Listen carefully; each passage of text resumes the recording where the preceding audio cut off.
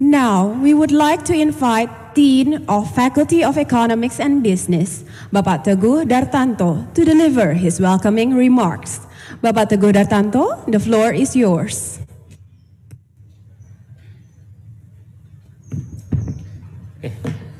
Bismillahirrahmanirrahim. Assalamualaikum warahmatullahi wabarakatuh. Uh, very good morning.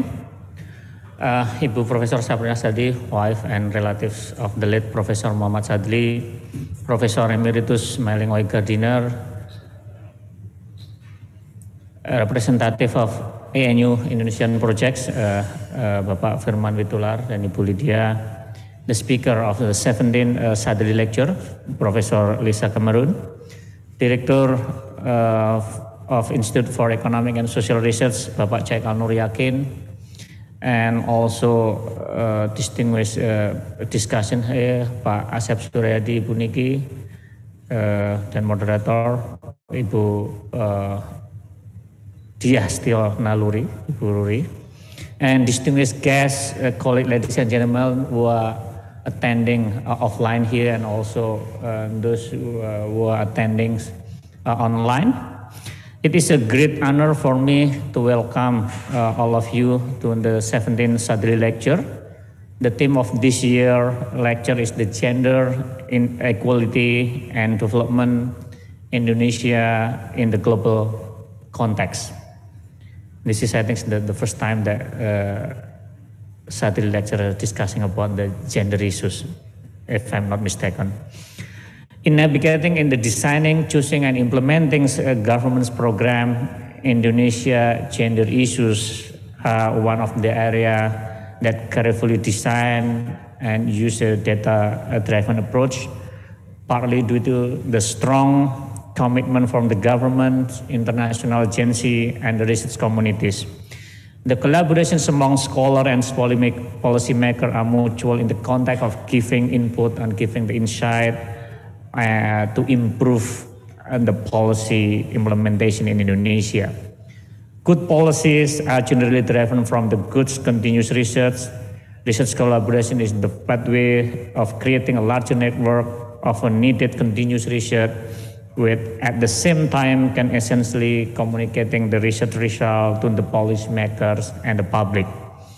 Good research and environment that support it and the university including research center uh, area is, is very very important.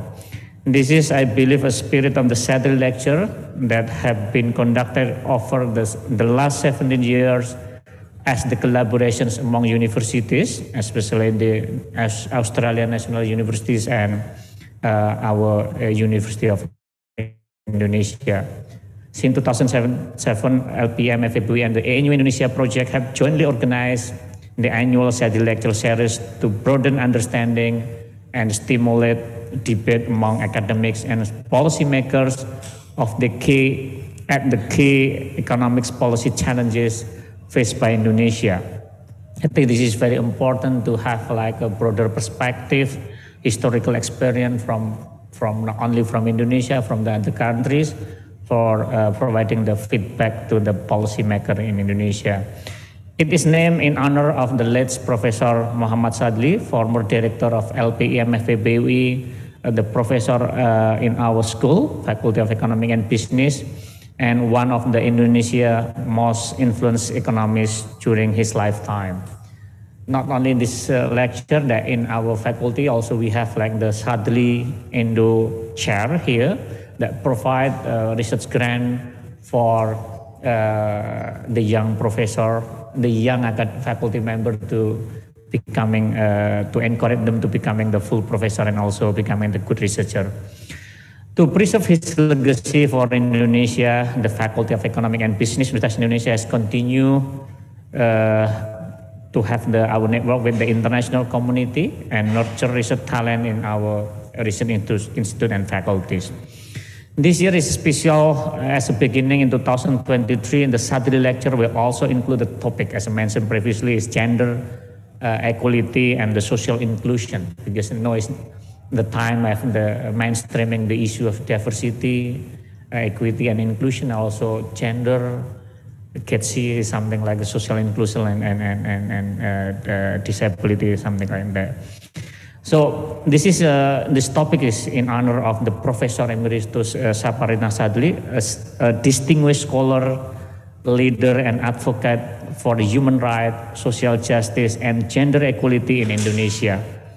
The scope of the series will expand to cover gender equality and the social justice in additional to the International Trade Industrial Organization, development economics, with uh, one of the focus areas of uh, Professor Sadli.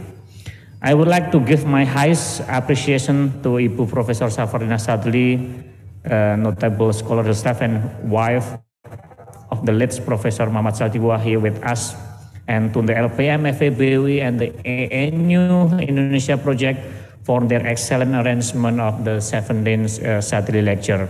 The 17th uh, cooperation is surely quite a long engagement. I think this is not many uh, event in Indonesia can continue uh, almost two decades. Uh, but this is uh, it's very good to have a long collaborations between the ANU and also our faculty. I would like also thanks to the Professor Lisa Cameron who will discuss her paper here and we also have conducted for a long time research on development in Indonesia, especially on gender response related program. And thank you very much for discussion, uh, Pak Asep Suryadi, Suryahadi from Semeru, and Ibu Fendi Futugeniki. This is our young faculty member just recruited recruited this year as a permanent one. And Pak Firman Witular from ANU, Pak Caikal Nuryakin, and also uh, others uh, participant and uh, that coming to, to this event. Finally, I would like to thank all the participants of the 17th Sadli lecture. I wish you all have a, a fruitful discussion on the topic, gender uh, related issues, hopefully that to know and to understand as well as the challenge uh, of the issue, uh, what happened that um, this issue can be mainstreaming in Indonesian's development policy. I think this is the most important.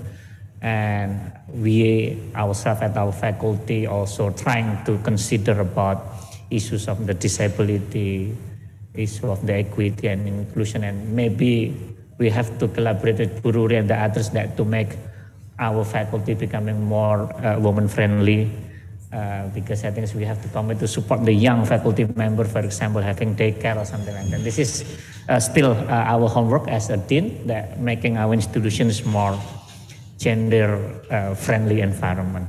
And uh, thank you very much for all. And I'm sorry I could not stay here, even though this is very interesting topic because I have to. Oh, Pusadli, welcome.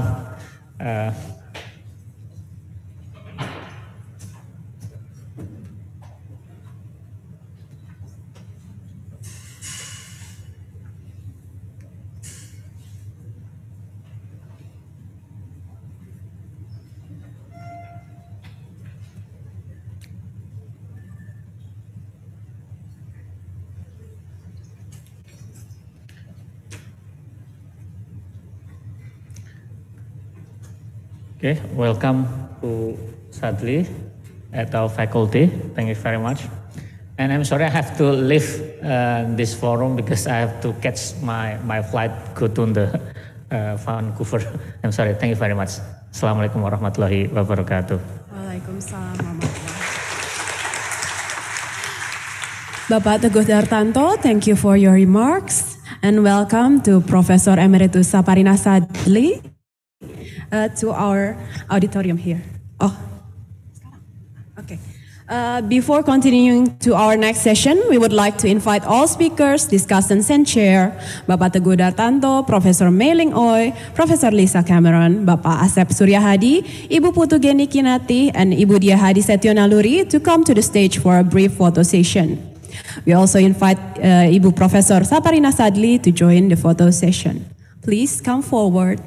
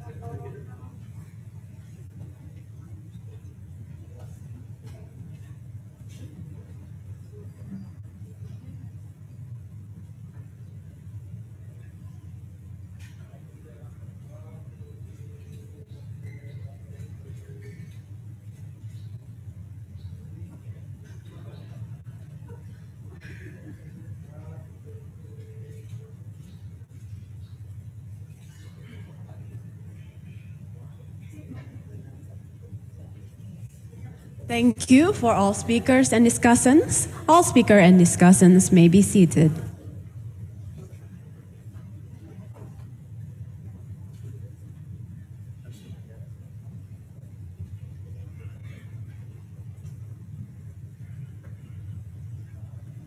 Okay. Now, to formally open the 17th Sadli Lecture, we would like to invite Professor Emeritus Mayling Oey-Gardiner from Faculty of Economics and Business, Universitas Indonesia, to deliver her keynote remarks. Without further ado, Professor Mayling, the platform is yours.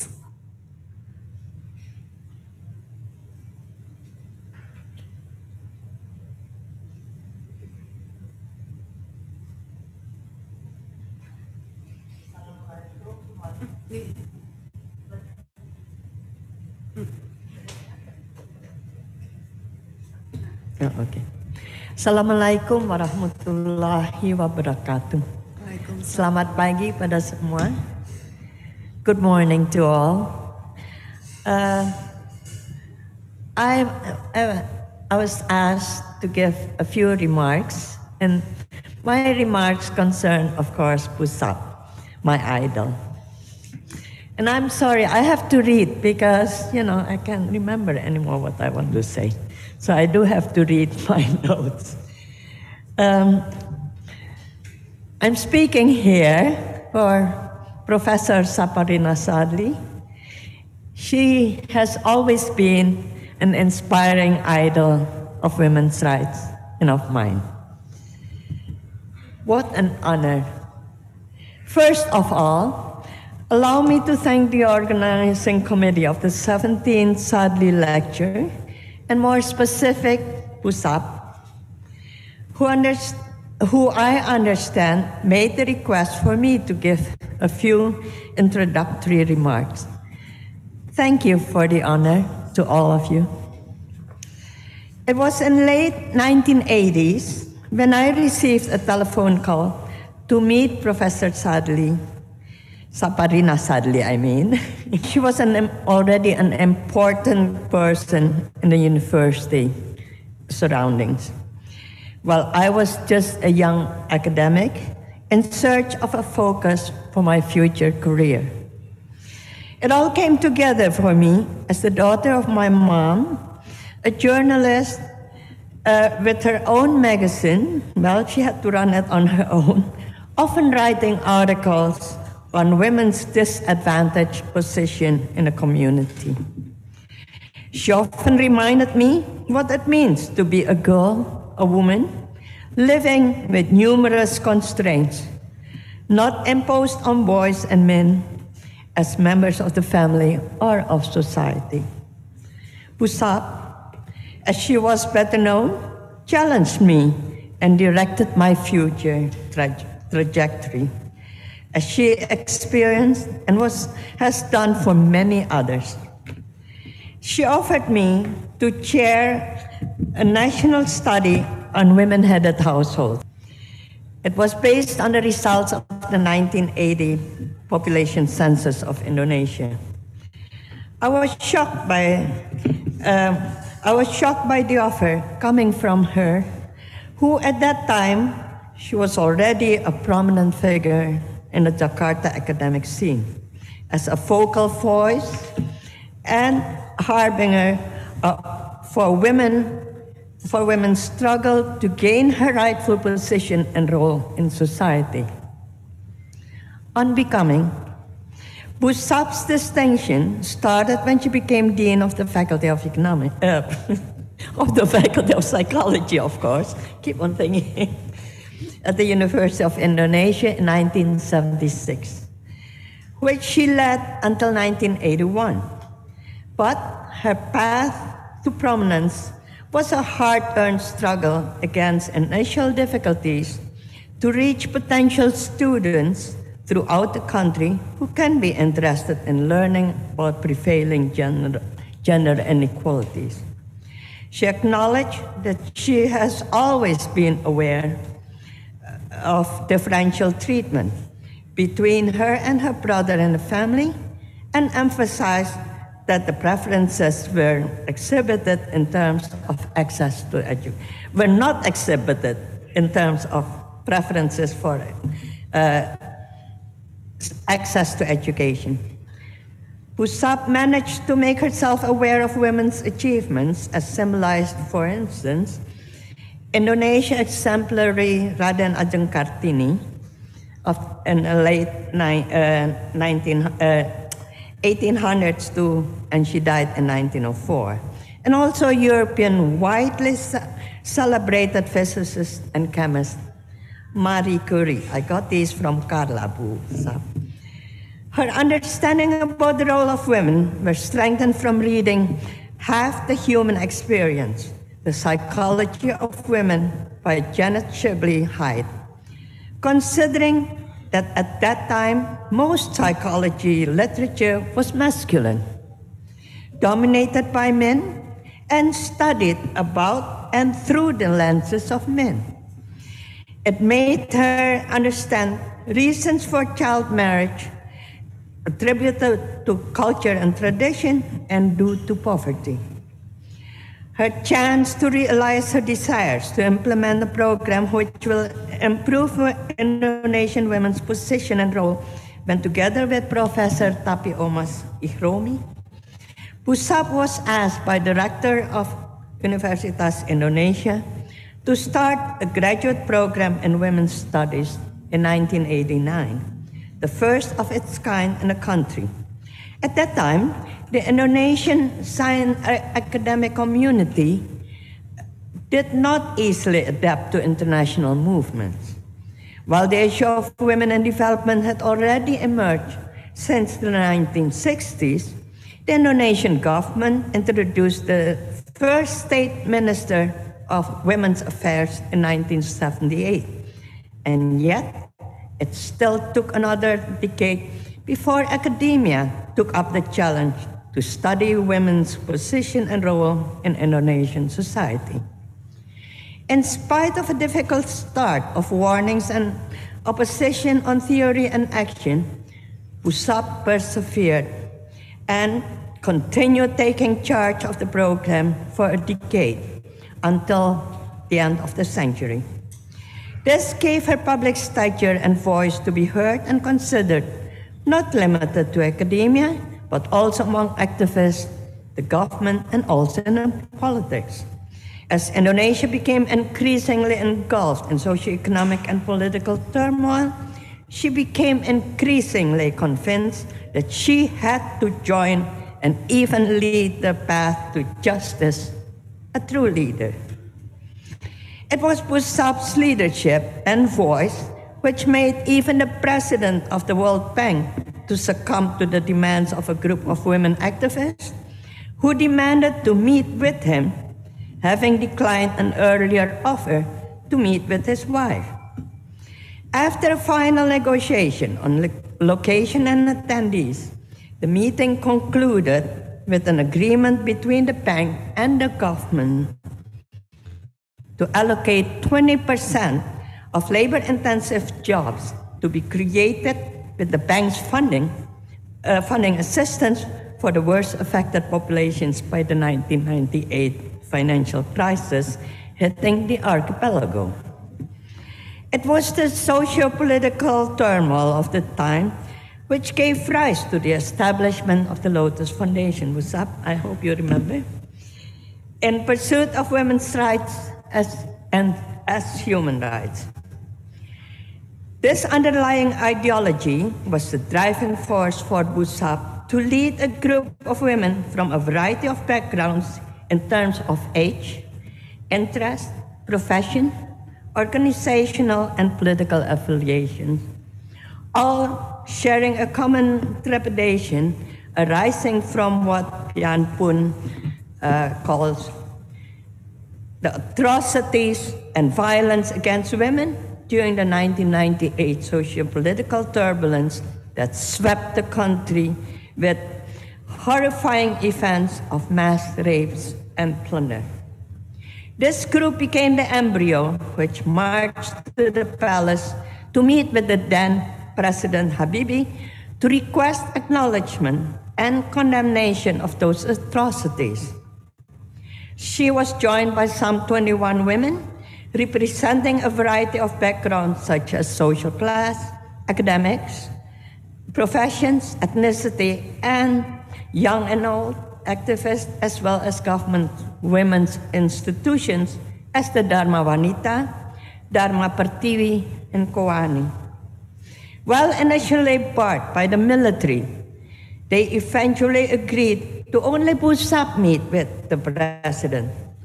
This overture was immediately rejected, as her position was all or none.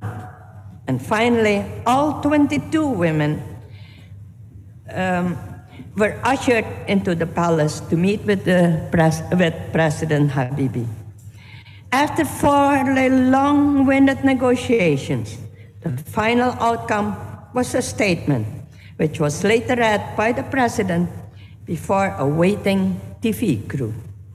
This was the first time the government acknowledged and condemned the roles and violence against women. He also promised to set up a team to investigate the May 13 to 15, 1998 riots and rapes and establish a national commission on violence against women. Well, Busap joined the fact-finding mission, uh, the fact-finding joint investigation team as a member.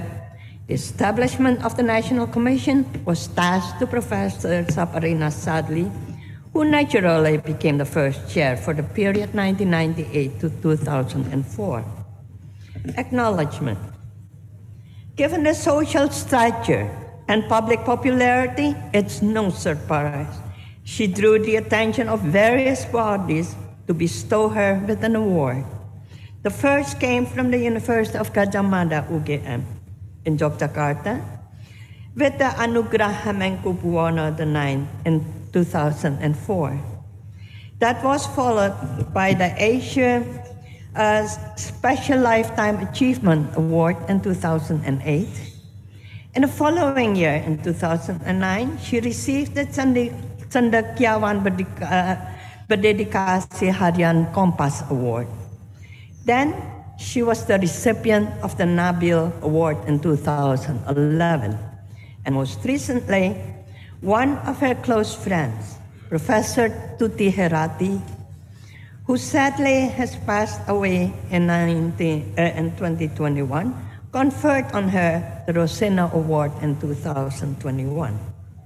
In return, it was Busap's leadership and incessant commitment to justice for the weak and disadvantaged, especially women, which enticed many of us to be her followers, and that includes me.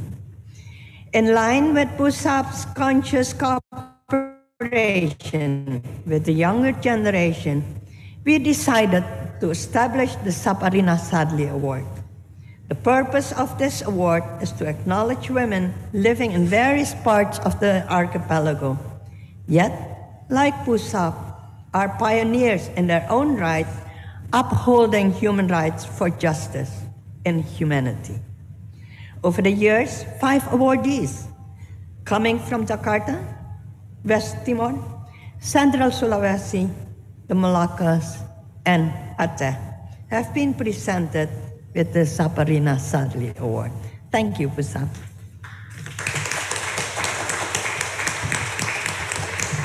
Professor Mayling, thank you for opening the event and sharing your perspective.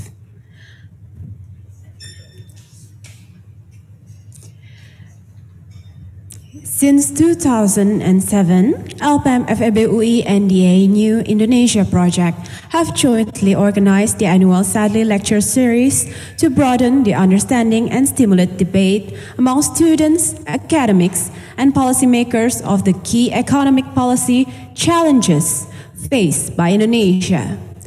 The lecture is named in the honor of the late Professor Muhammad Sadli, who was one of the Indonesia's most influential commentators on economic affairs during his lifetime. Beginning in 2023, the Sadli Lecture will also include topics in gender equality and social inclusion in the honor of Professor Emeritus Saparinah Sadli, a distinguished scholar, leader, and advocate for human rights, social justice, and gender equality in Indonesia. This year's lecture will be given by Lisa Cameron, James Riady Chair of Asian Economics and Business, and a professorial research fellow at the Melbourne Institute of Applied Economic and Social Research, the University of Melbourne.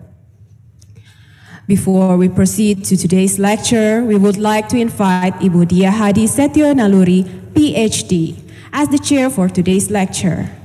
Ibu Ruri is the head of graduate program in Population and Labor Studies, Faculty of Economics and Business, Universitas Indonesia. Ibu Ruri, the stage is yours.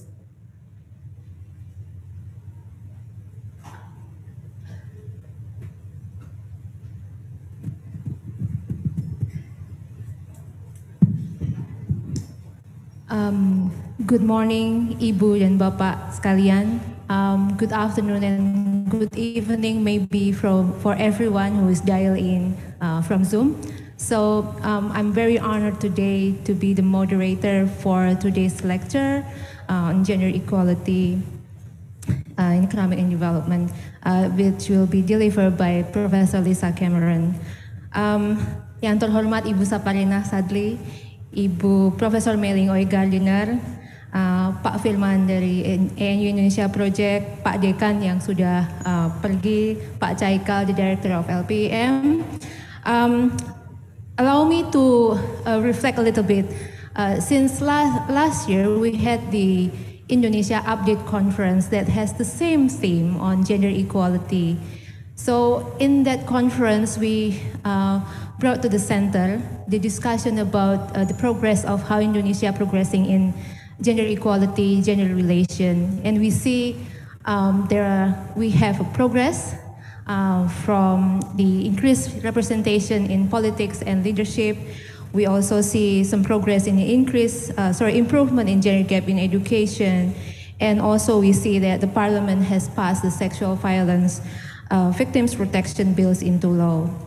Uh, but on the other side, we also see some challenges despite of considerable changes in the, to the Indonesian economy including a stagnant female labor force participation rate that Lisa will uh, discuss today, and uh, gender gap, persistent violence against women. And I think these challenges stem from pervasive patriarchy influence social norms that cause women to be left behind in terms of access, participation, control, and benefiting from development. So today uh, we have Professor Lisa Cameron, uh, who will discuss how Indonesia fares in terms of the effort to close gender inequality from gender economics perspective.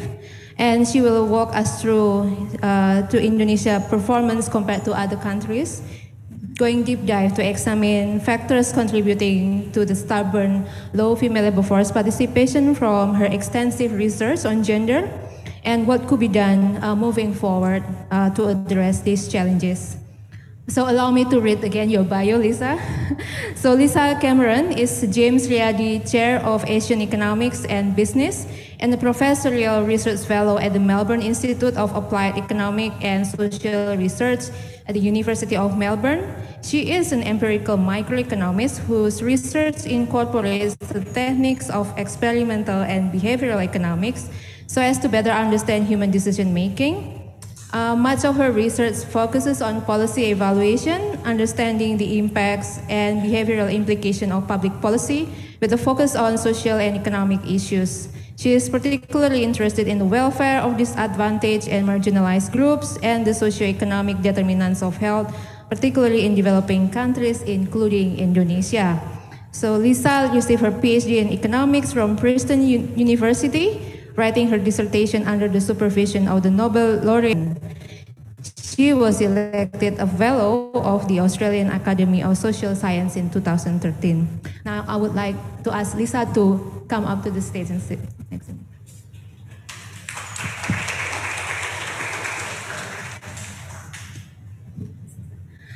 And joining uh, Lisa, so after the general lecture, we will have two distinguished discussion. So the first uh, discussion is our dearest uh, Putu Geniki Nati, or we call her uh, Nikki. She is from Faculty of Economics and Business, Universitas Indonesia. Um, Nikki supports the outreach team at Oxford Poverty and Human Development Initiative with analyzing survey data for the development of national multidimensional poverty indices. Um, this has involved working on highlighting existing deprivations across health, education, and living standard within various population. She is now uh, the head of the international office at the Faculty of Economics and Business here at UI. She also teaches microeconomics and econometrics, and I think she invites all of her students to attend this uh, uh, lecture today. And before OPHI and at UI, uh, Nikki serves as a tutor at Keble and St. John's Colleges at the University of Oxford. Uh, she was working at the Blavatnik School of Government on project tackling digital inequality. She was a Jardine Scholar at Trinity College, University of Oxford, where she completed her PhD. I invite Nikki to join us at the stage.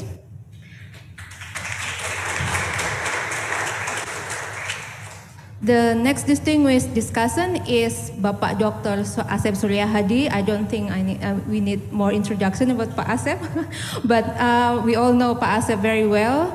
Um, just briefly about her, his bio, Pak Asep is a SMERU Senior Research Fellow whose role is to ensure quality research results and to encourage policymakers to formulate policies based on research evidence.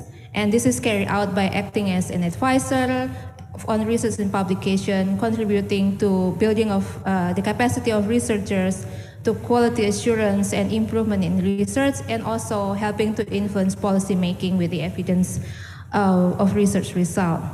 Uh, before joining SMERU, Pa Asep working uh, with the World Bank office and was a senior research associate at Center for Policy and Implementation Studies, CPIS, and Pak Asep was awarded with H.W. Arndt Prize for his article on minimum wage policy and its impact on employment in the urban formal sector, published in the Bulletin of Indonesian Economic Studies, uh, co-writing with Wenefrida Widyanti and Daniel Perwira and Sudarno Sumarto. And this is prize is given to the best article by one or more Indonesian author published in the by BIES this year.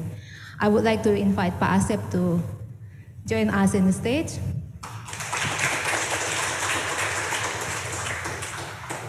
Now let's uh, now we go into the the center of the lecture. Uh, I would like to invite Professor Lisa Cameron to deliver her lecture. Please.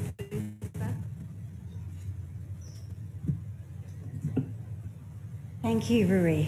Um, hello, everyone. Uh, thank you very much for coming, and I'd like to thank my hosts at the University of Indonesia and uh, the Indonesia Project at the ANU for the invitation. And it's a real honour to be here to speak at the, um, the Sadli Lecture uh, in honour of Professor Saparinah Sadli, who's made such significant contributions to women's equality uh, in Indonesia, both as a research scholar and on the ground, uh, improving the lives of women. So it's a real honour to be here, and uh, I look forward to your comments and some discussion after my talk.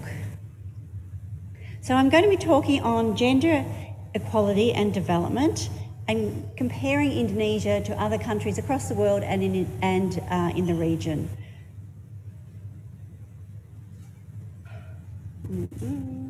Oh, oops, there we go. Yeah. So I'm going to start by talking about um, global gender inequality and comparing Indonesia with other countries in the region. And then I'm going to go on and talk about a recent uh, research project, uh, which is with Diana Contreras Suarez, my co author at the University of Melbourne, and Ruri here at the University of Indonesia, um, looking at how to influence social norms around women's work. But before I start, I just thought I wanted to acknowledge and celebrate the increased interest in uh, research on gender equality, particularly in the field of economics. So, what I did is I did a search on EconLit um, of research papers with gender in the title. And I did this just for, across the world. And so the blue line graphs what I found. So in the 1970s, there were only six articles that had the word gender in the title. Um, these are articles in the field of economics. In the 1980s, this increased to 122, and you can see that for the two, for 2020s, um, I'm projecting that it looks like there's going to be more than 10,000 articles with gender in the um, title. So that's a massive increase in interest. Uh, and you can see that also being mirrored in the Indonesian literature. Now, these are just studies, English language studies, so there would be more studies, but I, I was using EconLit. Um, and so you know, in the 70s and 80s, there were no studies written in English with um, Indonesia and uh, gender in the title. By the 1980s, there were eight, and that included a study by Professor Ling Oey-Gardiner here. Um, in the 19 uh, in the 2000s, that went up to eight, um, and I contributed one article in that year, and a number of scholars at the ANU also contributed articles on gender in Indonesia in that year. I think Sharon Bessell, Catherine Robinson, and Susan Blackburn. Um, and the numbers continue to grow in Indonesia. So this is really promising in terms of our understanding of gen- gender inequality or equality and how to um, improve gender equality over time. So when compared, you know, the indices all differ somewhat from one another. This ind- index is made up of, of four sub-indices. Uh, there's one uh, aspect looks at economic participation and opportunity. So it's constructed from indicators looking at women's labour force participation, gender wage gaps, the share of women in professional, technical, senior management and legislative roles, and um, women's share of earned income. The second component of the index looks at educational attainment, and that's measured by literacy, school enrolment, and tertiary education. Uh, so differences between men and women in those indicators. The third component is health and survival. That looks at the sex ratio at birth uh, and at life expectancy. So to identify whether there's son bias um, being borne out in the, um, the sex ratio due to uh, female infanticide or sex selective abortions. Um, the fourth component it looks at political empowerment, so the number of women in parliament, in ministerial positions, years with a female head of state in the last 50 years. So I'm just going to present a number of figures. So here um, I've graphed uh, the gender gap index. So the higher the value of that index, the more equal uh, in terms of gender the society is. And I've graphed that against GDP per capita in international dollars. Um, and Indonesia is shown there in yellow. Uh, but I've also just highlighted some other countries of interest: Australia, the US, Afghanistan, which is the um, has the highest gender equality, gender inequality in the world, and Iceland, which is has the lowest gender inequality in the world.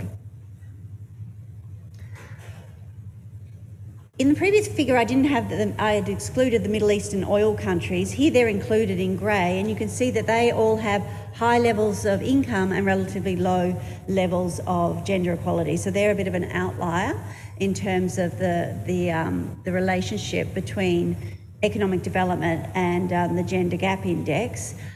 On this figure, I've plotted a regression line. So it just shows you that there is a positive association between gender equality and economic development. So as incomes rise, societies um, tend to become more equal in terms of differences between men and women. Um, the, so that relationship is strongly statistically significant, but it's not all that steep. You know, there's a lot of other things going on that determine gender equality in, in any country.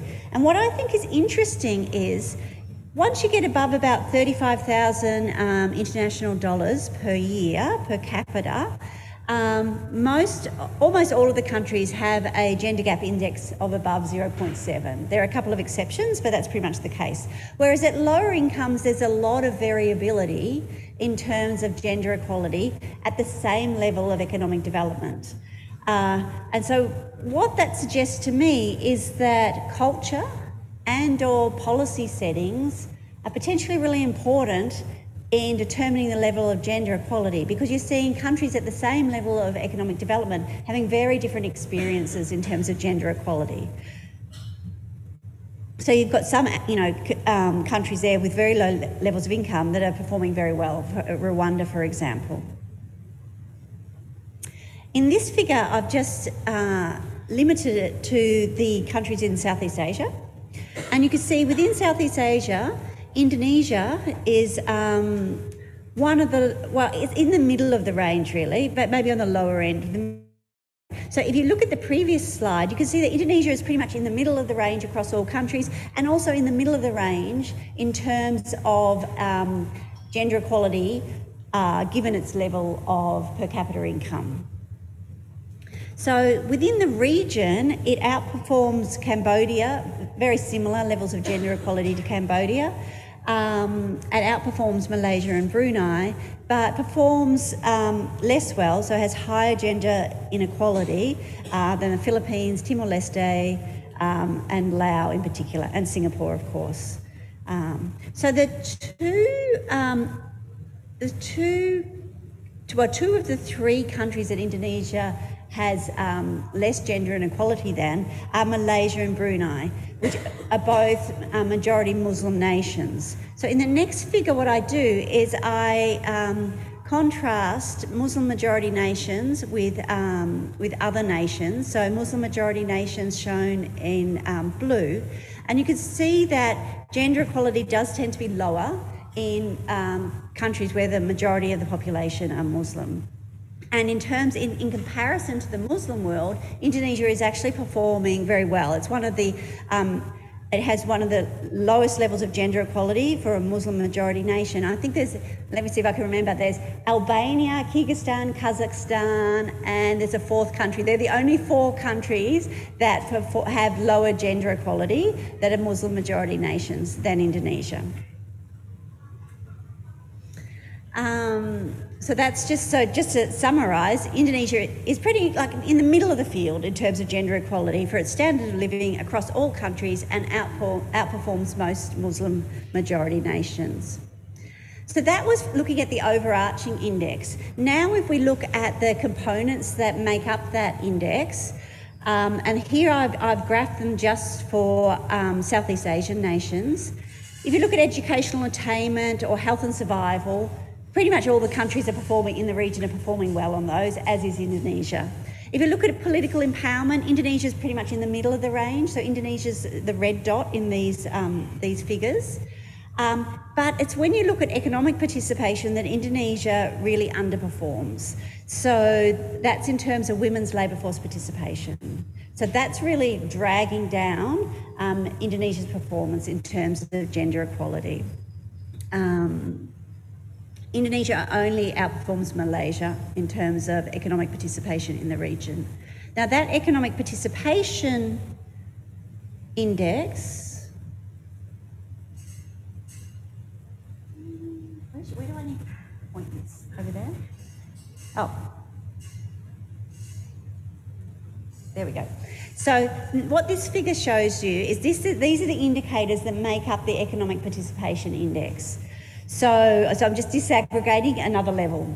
And if you look at these indicators, Indonesia um, it performs very well in terms of the proportion of, um, of professional and technical workers who are female. It's in the middle of the range in terms of legislators, senior officials, and managers. Um, wage equality for similar work is kind of in the middle of the range. Um, but in terms of labour force participation, as I mentioned um, previously, Indonesia um, has very low female labour force participation compared to other countries in the region. And that also shows up in terms of share of earned income because if, if women aren't working, then they're not earning income, so they're uh, uh, earning only a low share of earned income.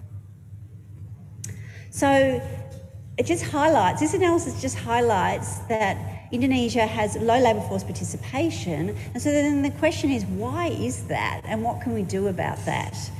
Um, so female labour force participation has remained around just above 50% for the last two to three decades. And that's when you've seen a massive change in Indonesia. You've had, had a lot of industrialisation, urbanisation, increases in women's um, educational attainment. Um, but the figure on the right shows that just that's contrasting the labour force participation trajectory over age of married women in green with unmarried women in red.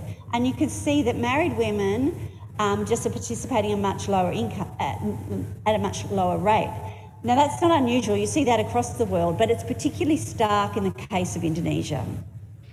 Um, marital status and the number of children aged between zero and two um, are key drivers of women's decision um, whether or not to work.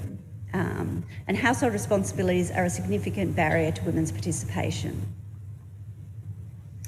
So, um, I've done some work with some colleagues at Melbourne Uni uh, using the Indonesian Family Life Survey, which enabled us to track, I think it was about 9,000 women across up to 20 years, observing them as they um, enter the labour market, as they have children, get married and have children, and we can look to see what happens in terms of their um, workforce tra- trajectories.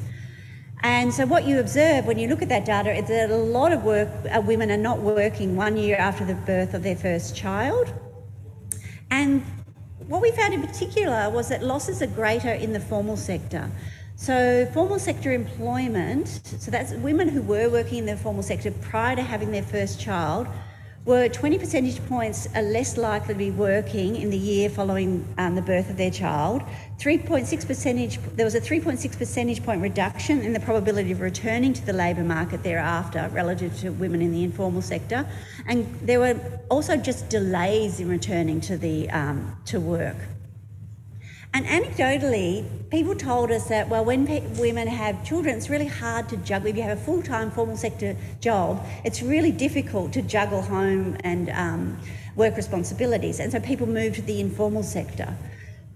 But in the data, we don't see that at all. We see, well, we see some women doing that, but mostly formal sector workers, if they find it difficult to, to maintain employment once they have a child, they just leave the labour force and so that's a real loss to Indonesia's productive capacity in that you have all these women, skilled women, who uh, end up leaving the labour force.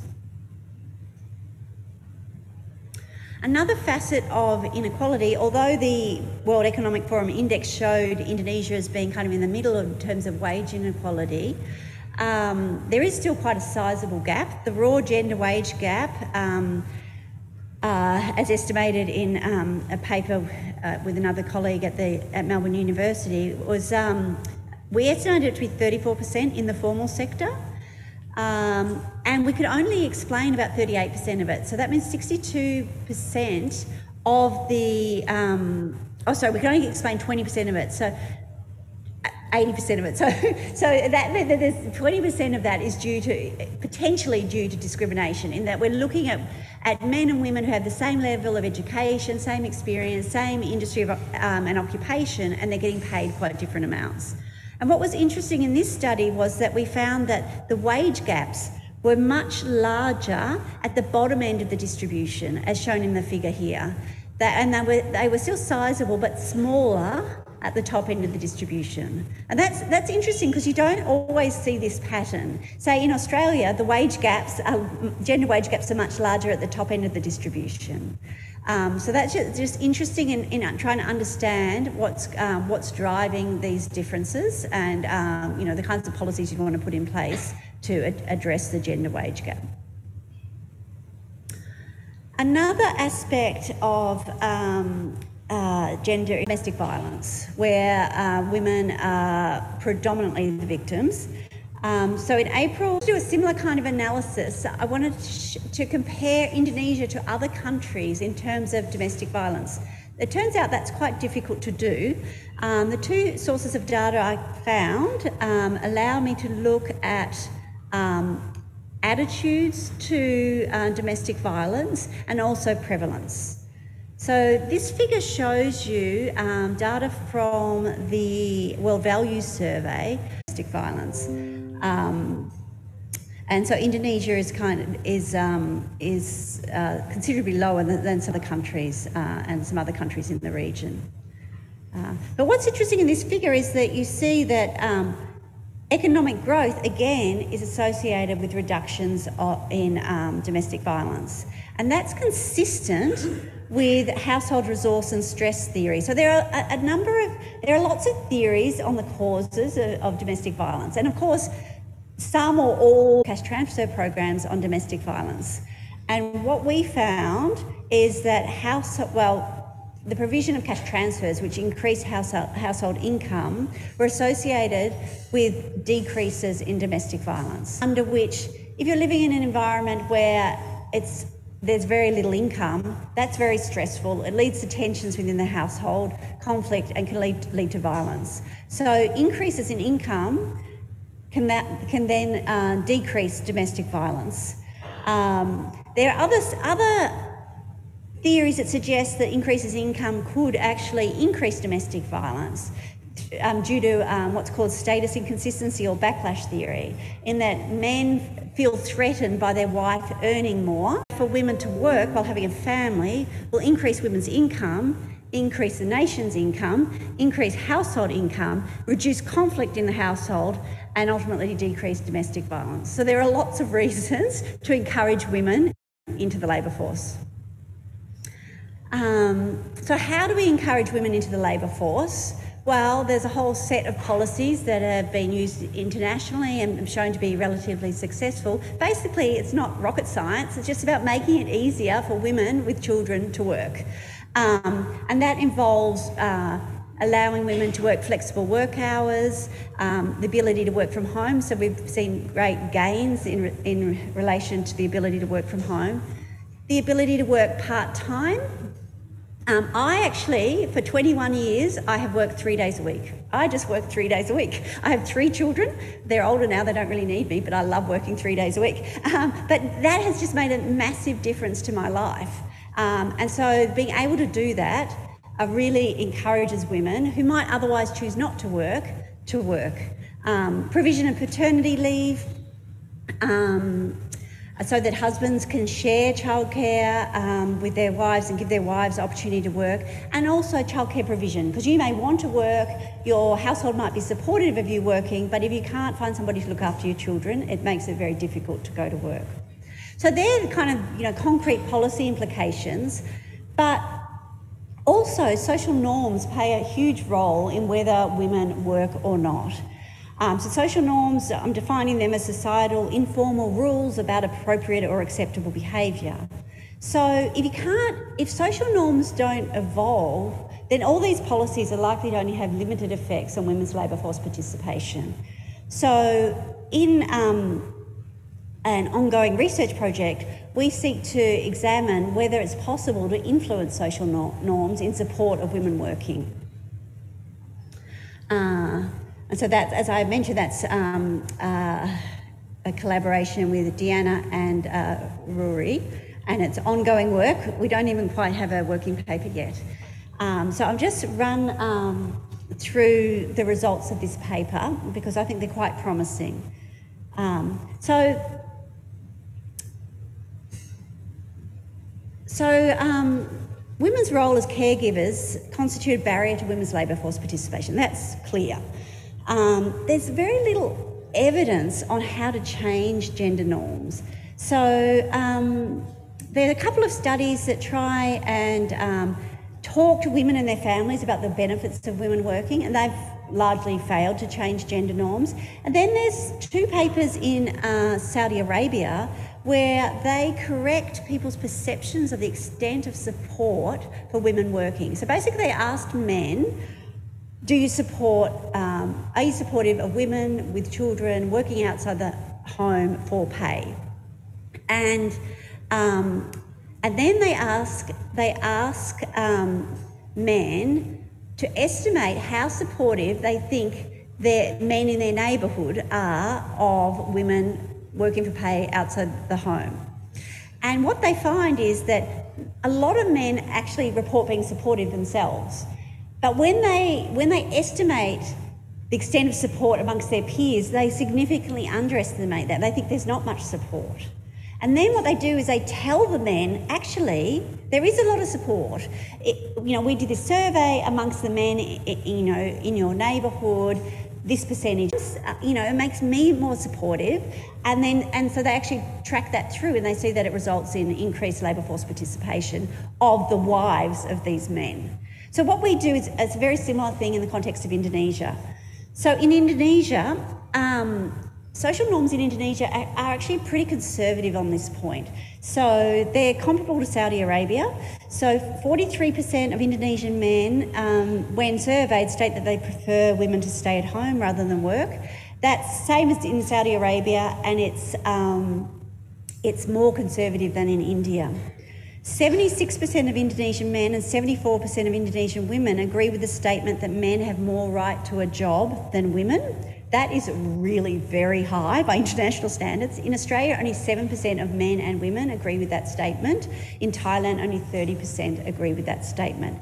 And what's particularly concerning is that you see this increasing conservatism in Indonesia. So, that same question asked in 2006, only 65% of men and 42% of women agreed with that statement. So, you've seen increasing conservatism conservatism among men and a massive increase in conservatism among women, so that they're now as conservative as men.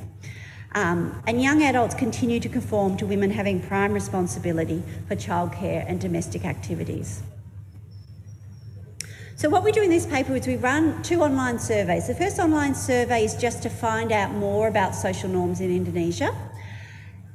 The second online survey, we run an intervention which tries to correct misperceptions um, about women's support, support for women with children working, men's support for men sharing childcare, and older women's support for women with children working.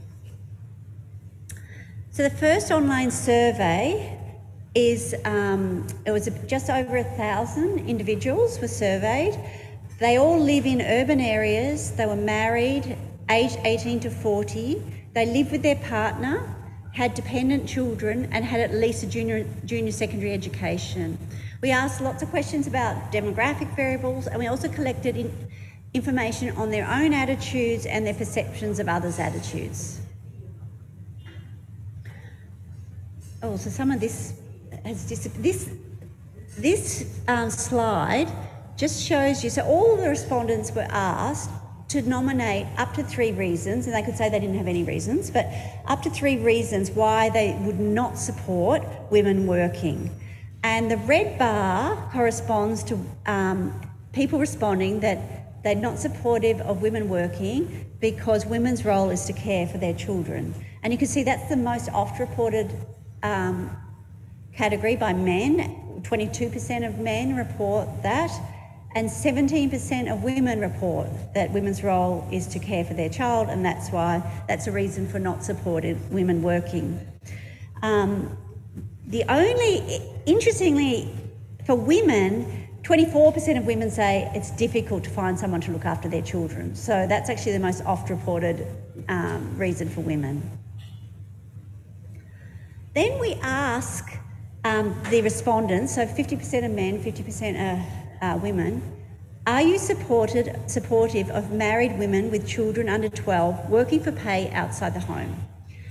And 62% of the male respondents report being supportive. And then we ask men and women about their perceptions of men's support. And men believe that 59% of similar men are supportive, and women believe that 64% of men similar to their husbands are supportive. So basically, they, they nailed that question, right? That's very accurate. So there aren't misperceptions to be addressed there. So we, we leave that.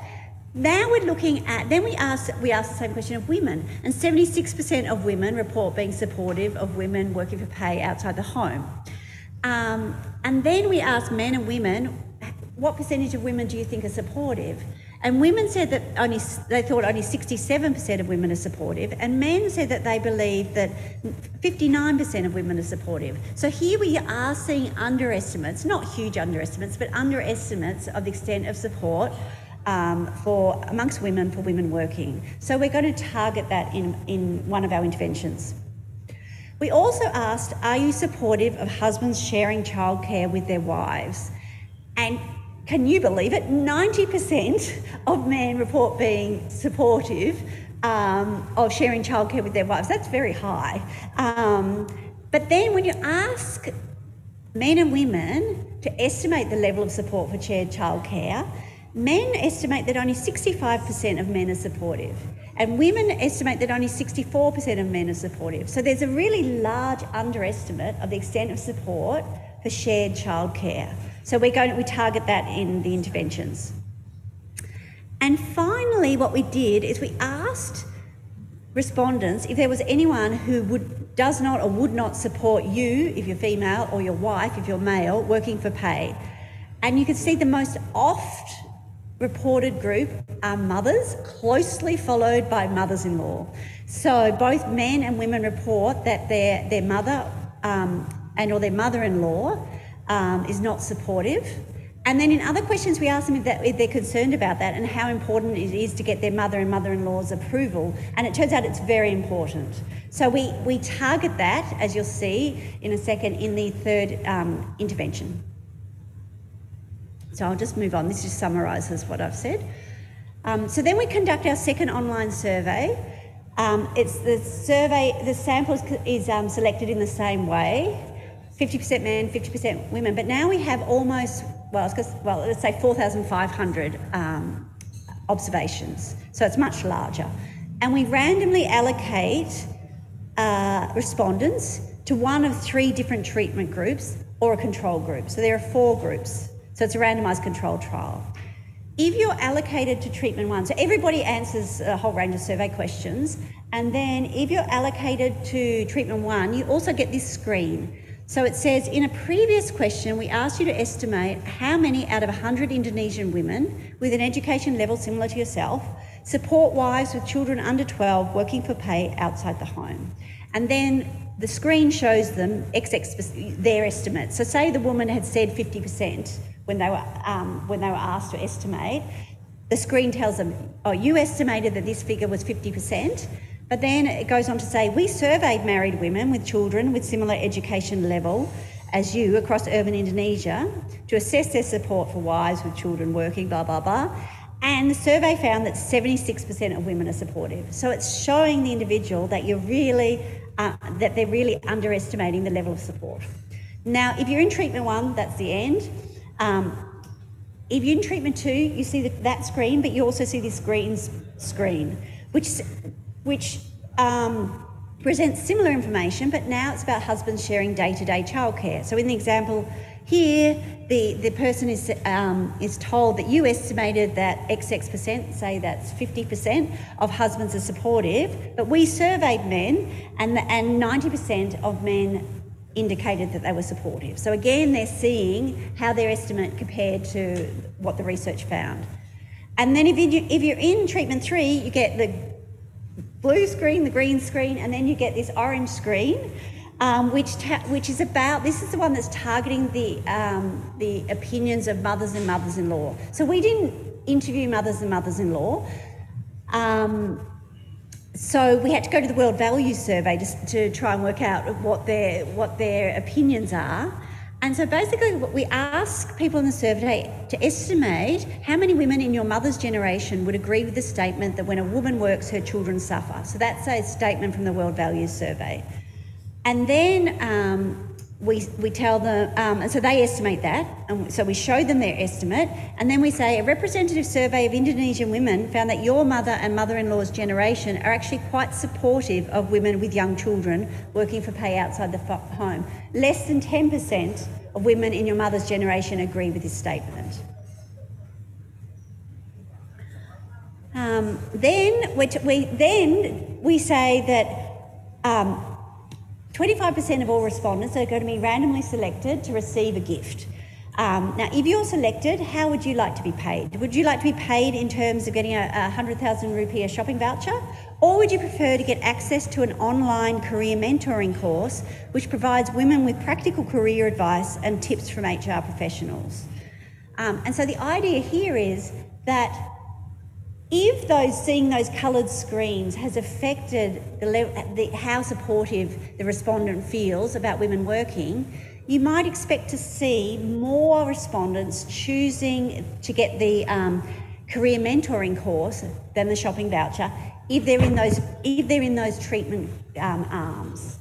So that's what we do. We just look to see if more people in the how the treatment arms affect uh, um, this choice relative to the control group. And the bottom line is that it had a big impact. Um, the probab- if you're in a treatment arm, any treatment arm, those respondents, men and women, were more likely, 8.6 percentage points more likely to choose the career mentoring course. That's a 25% increase in support for women working, which is really large. Um, all three treatments are effective for men and women. Um, so you can see, in fact, I might show you here on a figure that for women, you can see each treatment increases the, the impact. So, you, so going from treatment one to treatment two, you're adding um, support, information about the extent of support for childcare. Going from treatment two to treatment three, you're adding the, the information about the support amongst the mother's generation.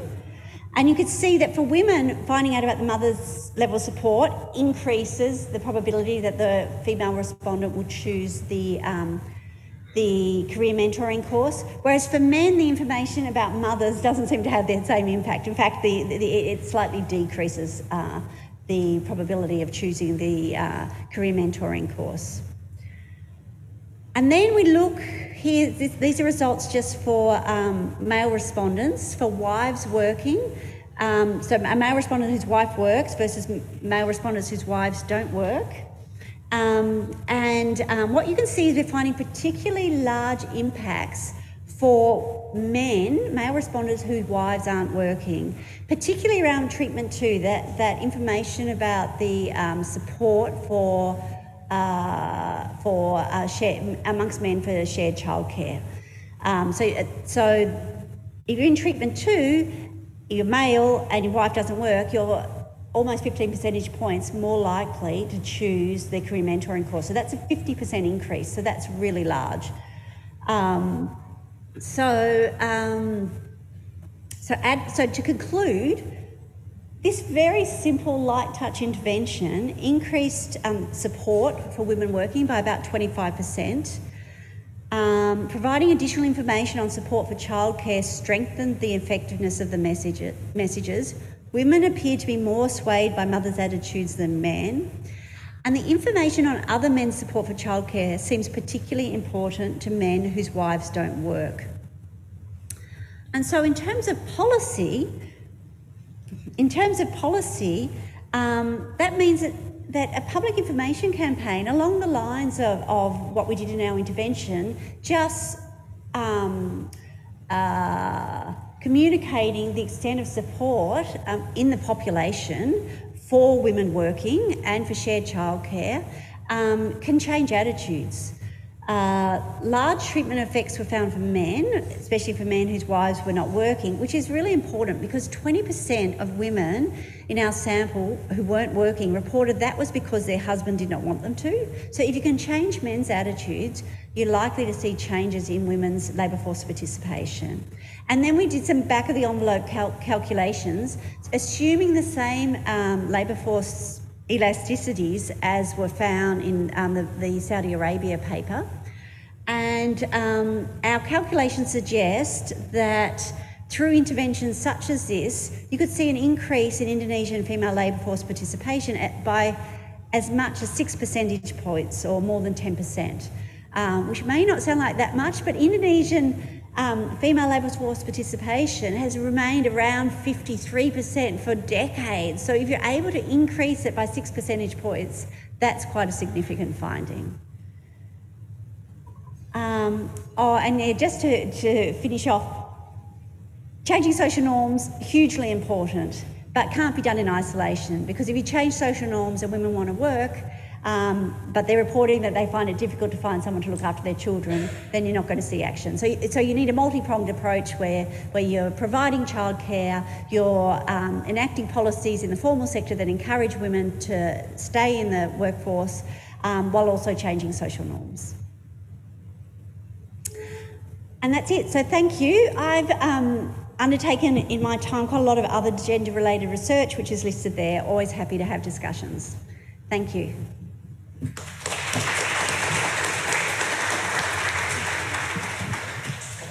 Thank you so much, Lisa. I think the main takeaway is that we need to make it easier for women to work because it's you know uh, it's improving other aspect of gender equality, and also um, providing envir- good environment for women to work is actually important, including uh, providing uh, you know social challenging social norms and challenging social norms is actually possible with even with a light touch intervention we can actually change uh, uh, sway the social norms. Now I would like to invite uh, the first discussion. Uh, Nikki, would you like to give your remarks?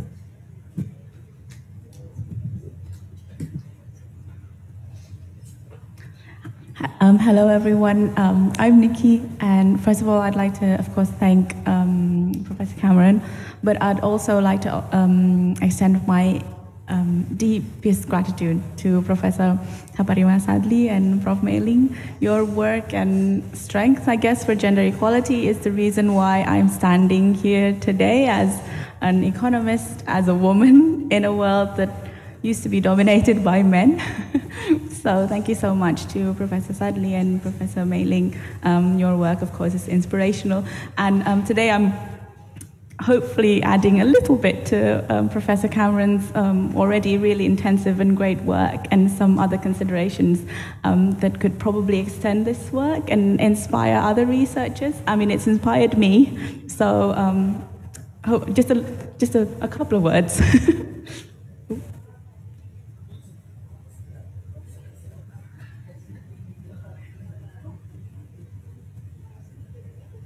I guess these are just the bits that really interested me and that sort of struck me. Um, first of all, I was really interested in the bit where you did um, the really short systematic review on work on gender uh, around the world in Indonesia. I think that highlights that it wasn't, well, it was, it was people were less, less interested in it, but there's like a measure, um, a message of hope that people are starting to get more and more interested in gender. And of course, um, you, have done a lot of work um, on it. And as a person who does a lot of work on measurement and index building, um, another message that struck me was when um, you were using different um, sort of measures of gender equality and also comparing it to GDP. And there was a message in the paper to say that.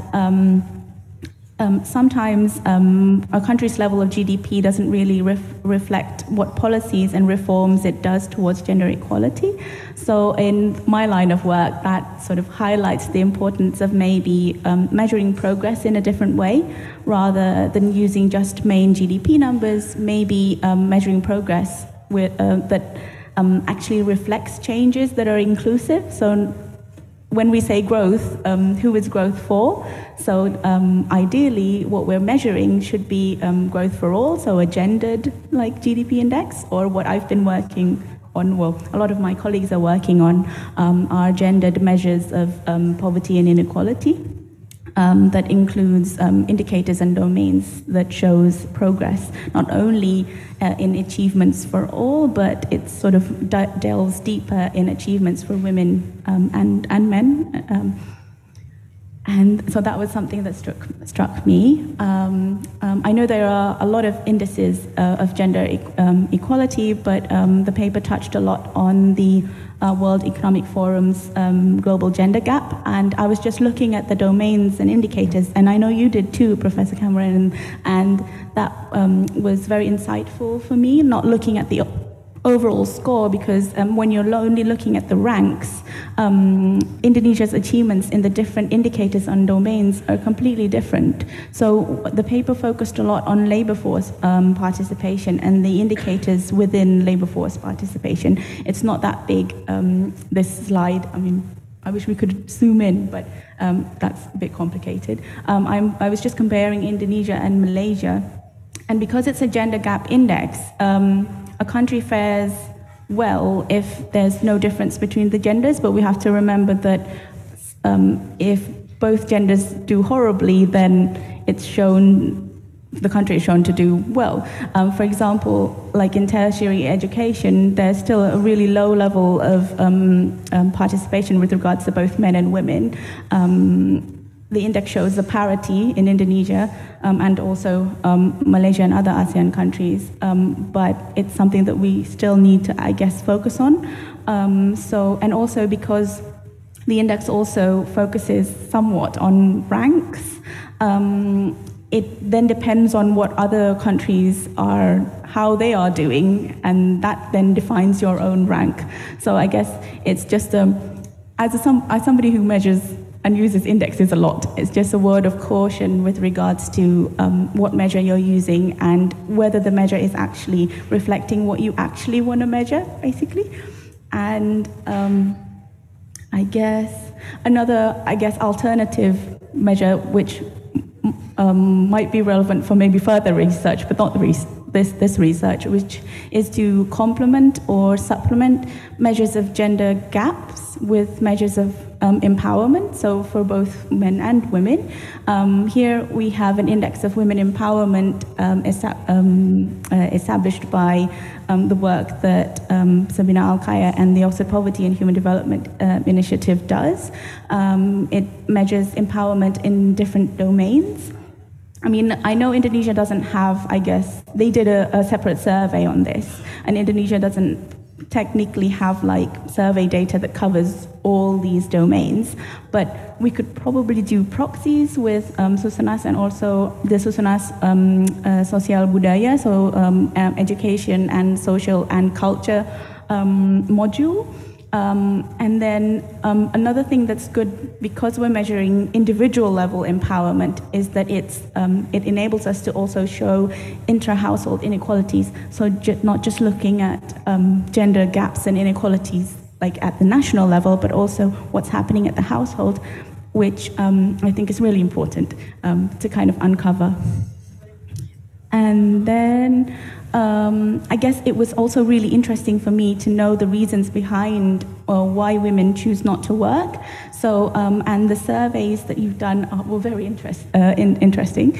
And, um, and it's, uh, um, um, I also noticed that um, the main reasons is for women not to work is because they, they move from formal employment to care but they also then not choose to work in, in the informal sector too. So, which is um, very interesting. But I guess another thing is, um, I guess it's also important to recognize that caregiving is work in itself, I guess. Women choosing to caregive, I mean, um, I know sometimes women choose to do that, so it's important to understand why they choose to move into, into care. And, and because of COVID 19, it's I guess not only childcare but also care in general because due to COVID 19, the burden of care then of the elderly and the sick within the household also tended to go to the woman. And then I guess another issue is even if women participate in the labor force, where would that burden of care be basically? Will there will it be shared uh, between the husband and or anyone in the household? It doesn't have to be the husband and the wife. It could be the mother-in-law, as you as you as you um, showed. So basically, if um, so so, I guess helping women participate in the labor force is then should not be the end of the policy, but also figuring out how care burdens are shared within the household should maybe also be highlighted by equality campaigns and governments, basically. And basically, um, the what my main take from this was it left me wanting more and more, which is of course really great. So I wanted to read more about um, gender issues and um, so what would happen and where would Indonesia be if, if we weren't only looking at gaps but also looking at um, empowerment measures and um, um, and another sort of, I guess, eye-opening thing is if we look at inter- inter-household inequalities, how is share uh, how is care shared within the household, and who makes the decisions basically in the household. That's um, although we might not have the data currently, but maybe surveys and your work on little mini online surveys could probably help with that. And then reasons behind um, inequalities and what sort of norms and cultures actually prevent these inequalities. And then actually another thing that um, also came to mind was this idea of changing like social networks and familial ties when we sort of urbanize and embrace globalization and all this in, the internet of things and everything and how then that also affects um, choices of care and also whether as women we, we, we are willing to work. So a lot of questions coming from this piece of work uh, uh, that I guess is really inspiring. Um, so before I end, um, so when I was when I was reading through the paper, and I sometimes discuss things out loud, and I have my three-year-old son with me. and he brought me his favorite, current favorite book, which is called feminist baby, he's a feminist too. I guess this sort of um, hopefully ties to your idea and Ibu Ruri's really apt um, conclusion to say that um, even pretty simple interventions can lead to um, big I guess, or significant impacts with regards to empowerment and equality. And um, starting with education from an early age, hopefully, would be something um, would be would be helpful when, for the government to consider. And um, and yeah, um, I guess that's from me. Uh, and and of course, like published papers with regards to um, gender and more and more published papers like the work that you both are doing um, is of course helping breaking down walls, which my little three-year-old always says, feminist baby is breaking down walls. that's his current mot- that's his current um, life motto. So thank you, Professor Cameron, thank you, everyone. thank you so much. I think it's very interesting, uh, uh, the picture with three-year-old. Um, now I would like to invite Pak Asep. Pak.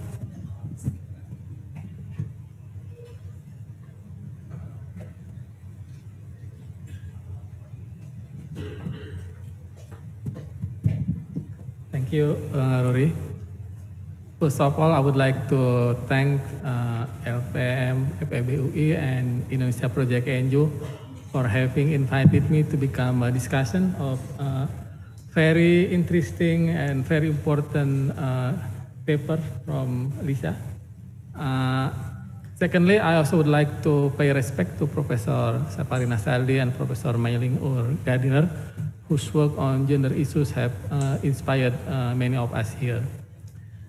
Uh, I really enjoy uh, reading Lisa's paper. Yeah, I learned a lot from it. And from reading it,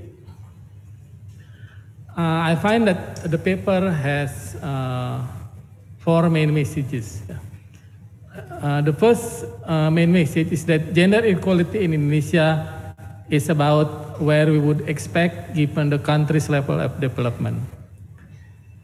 The second main message is that Indonesia has more gender inequality than some neighboring countries and uh, less than others. The third main message is that Indonesia has less gender inequality than the vast majority of Muslim majority regions worldwide, regardless of the level of income. And the last uh, main message uh, of the paper is that Indonesian women's economic participation is low relative to Indonesia's level of development. So I see from these four uh, main messages, the first one and the third one are quite positive. Uh, the second one is maybe neutral, yeah. Only the last one, which is uh, negative. So based on that, uh, in my view, uh, this paper has a relatively moderate view on gender equality in Indonesia compared to others. So here I put uh, three quotations about uh, gender inequality. Uh, the first one from uh, Ibu Bintang Puspayoga, the Minister, the Minister of Women Empowerment and Child Protection, who was quoted uh, last year to have said that uh, this gender inequality is caused by the deep-rooted patriarchy influence uh, social construct, which has caused women to be left behind in terms of access, participation, control, and benefiting from development. Uh, the second quote is from Antik Bintari from uh, Universitas Pajajaran. She said that uh, the government and the institution focus on women empowerment simply reinforces the outdated understanding that gender issues are not mainstream and do not cut across all sectors. And the last one is from uh, Muhammad Shukri, uh, a colleague of mine at Semeru. Uh, he said in one of uh, his papers that uh, the government policy, instead of transforming those unequal gender relations, uh, it has actually perpetuated them. Yeah. So compared to this uh, statement, the paper is, is, is quite uh, moderate and positive, I think. In addition to the general impression, I have uh, comments on two specific points of the paper. The first one is on the female labor force participation, uh, which is low. So uh, I try to look at the data yeah, uh, globally from various countries and uh, got this figure. It seems uh, that this uh, low female labor participation is indeed low uh, for Indonesia, but it is not unique to Indonesia. Uh, we see here that in, to, uh, in 2021, Indonesia has about 44% of uh, female labor participation. It's only slightly less than the US with 55%. And the world uh, average is much, much lower at just uh, about 46%. Yeah. And the, the, Philippines, which is called the star performers uh, in, in Lisa's paper in terms of gender gap, uh, global gender gap index, actually has much, much lower uh, at about just uh, 40, 43%. Yeah. Uh, within ASEAN countries, uh, Singapore and Thailand indeed has much higher uh, participation with 59 and 58 percent. And in Asia, I think in Asia Pacific, uh, China and Australia, uh, they have uh, the highest uh, rate at 62 and 61 percent. So I'm not saying that this uh, data say that low female labor force participation is okay Rather, this figure says that uh, it seems that the problem is, is, is global in nature. So maybe some kind of global cooperation is needed if we want to uh, overcome this problem. In addition, when I try to look at internally uh, within uh, across uh, provinces in Indonesia, I find that some provinces in Indonesia have quite high female labor force participation. Uh, the highest one is uh, in Bali, and second one is uh, in Yogyakarta, and uh, the third one is from uh, Nusa Tenggara Timur. They actually have female labor force participation uh, which are higher than China, Australia, and, and Singapore.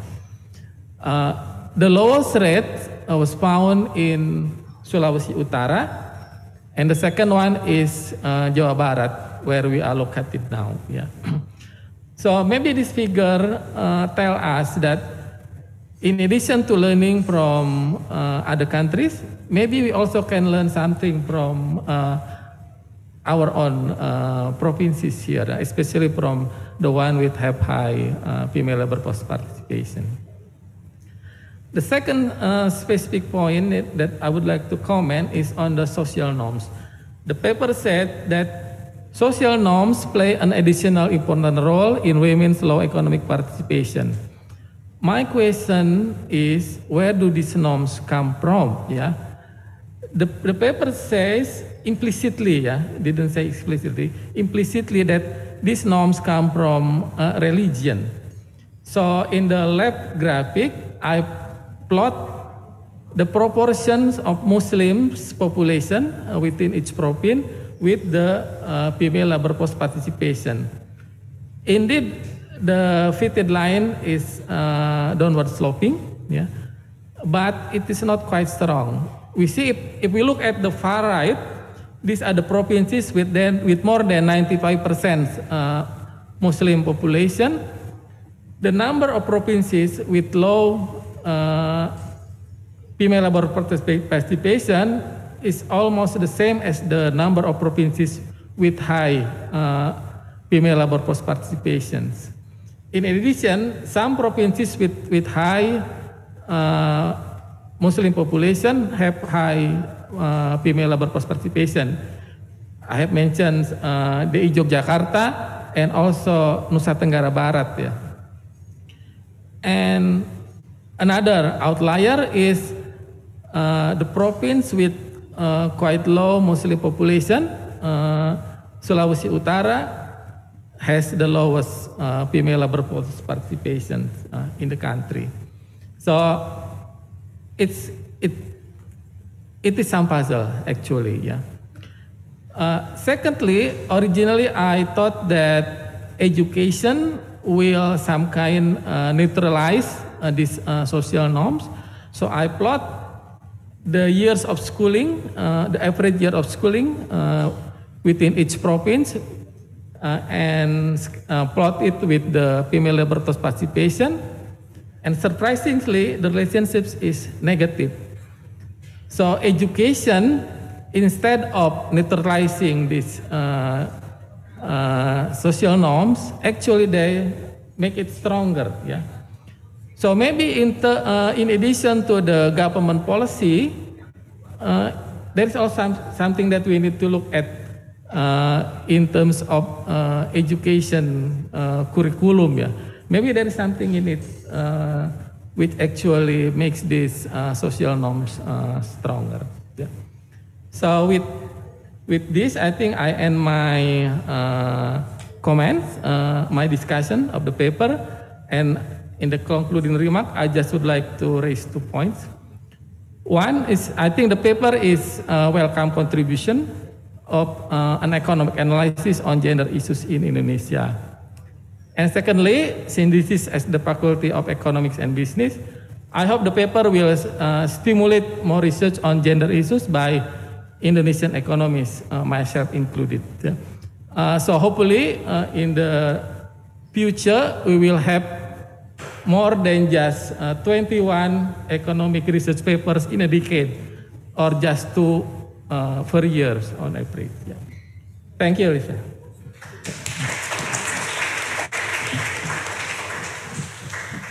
Terima kasih Pak Asep. Just for in, your information, I think our undergraduate students here are very in favor of doing gender equality, uh, you know, analysis. Like so many of them are now writing skripsi with the topic of gender equality. Um, now I would like to invite Lisa to provide response to the discussions.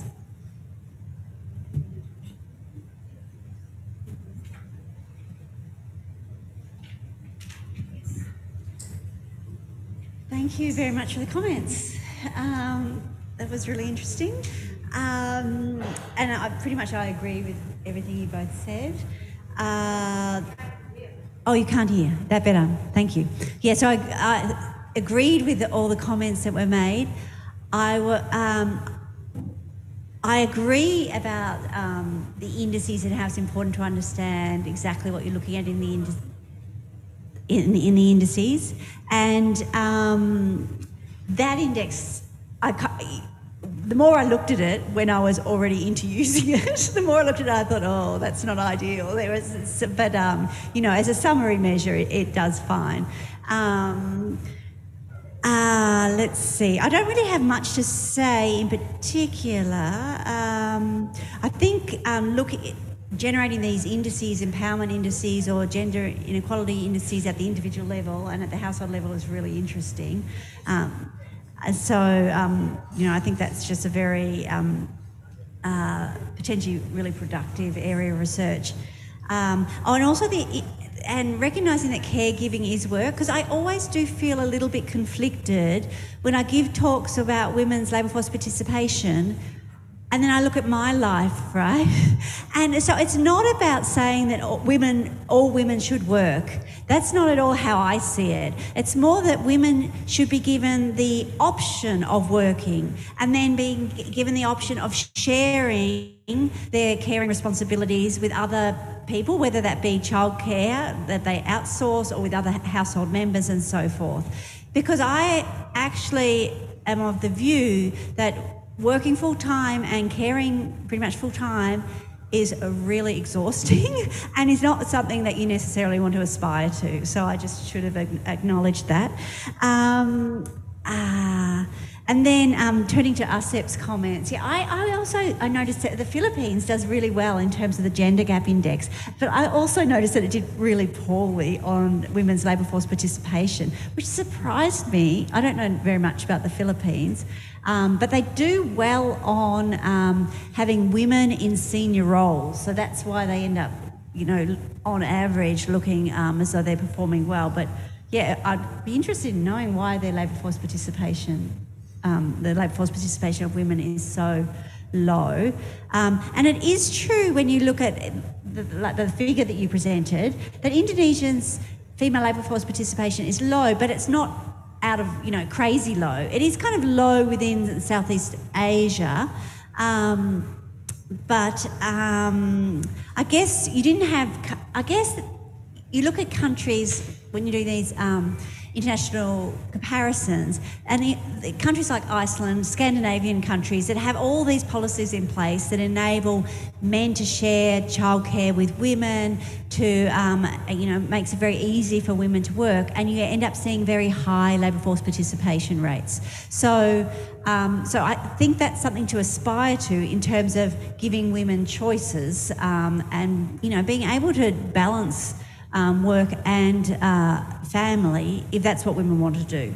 Um, and this question, oh, and also, yeah, the variation across provinces, I have added a little bit of a revision um, because there was a suggestion to, to look at different provinces. And I similarly, it was really interesting looking at the different provinces because it wasn't at all clear cut in terms of, because uh, I think I looked at, I can't remember which, pro, I looked at one province which is very conservative, but they have high labour force participation. So it's, it's not, it, I mean, I think that's an interesting area for research. If, you know, anybody's interested in doing research in these areas, you know, trying to understand what does drive labour force participation in different areas of Indonesia, controlling for a whole range of factors at the same time to try and kind of nut out exactly what is, what is going, going on because, um, you know, culture plays a role, religion as it's part of culture plays a role, but I certainly didn't mean to imply that religion's the driving force in, um, in these estimates.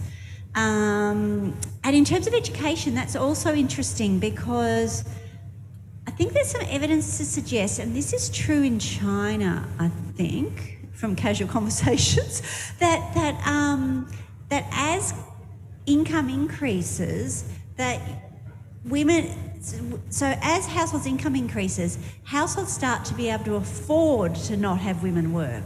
So you can, so the relationship can be somewhat U-shaped. So as as women um, or families can afford to have the mother stay home and look after the children, you see that happening, and so labour force participation can actually decline over some uh, some phases of de- economic development. Um, and education is is kind of in there playing a role. And um, in our work in Indonesia, we find that it's women with uh, senior uh, secondary school, so SMA level, where um, women's labour force participation is at its lowest. Yeah. So, um, yeah, so thank you for the comments and um, happy to hear questions. Thank you so much, Lisa. I see a lot of uh, Q&A already 11 on Zoom. But I would like to give the first opportunity for question or comments uh, from the audience here. So I say one, two, and three. We do three offline and then uh, from Zoom. So the first uh, one uh, lady in yellow hijab. Silakan Ibu.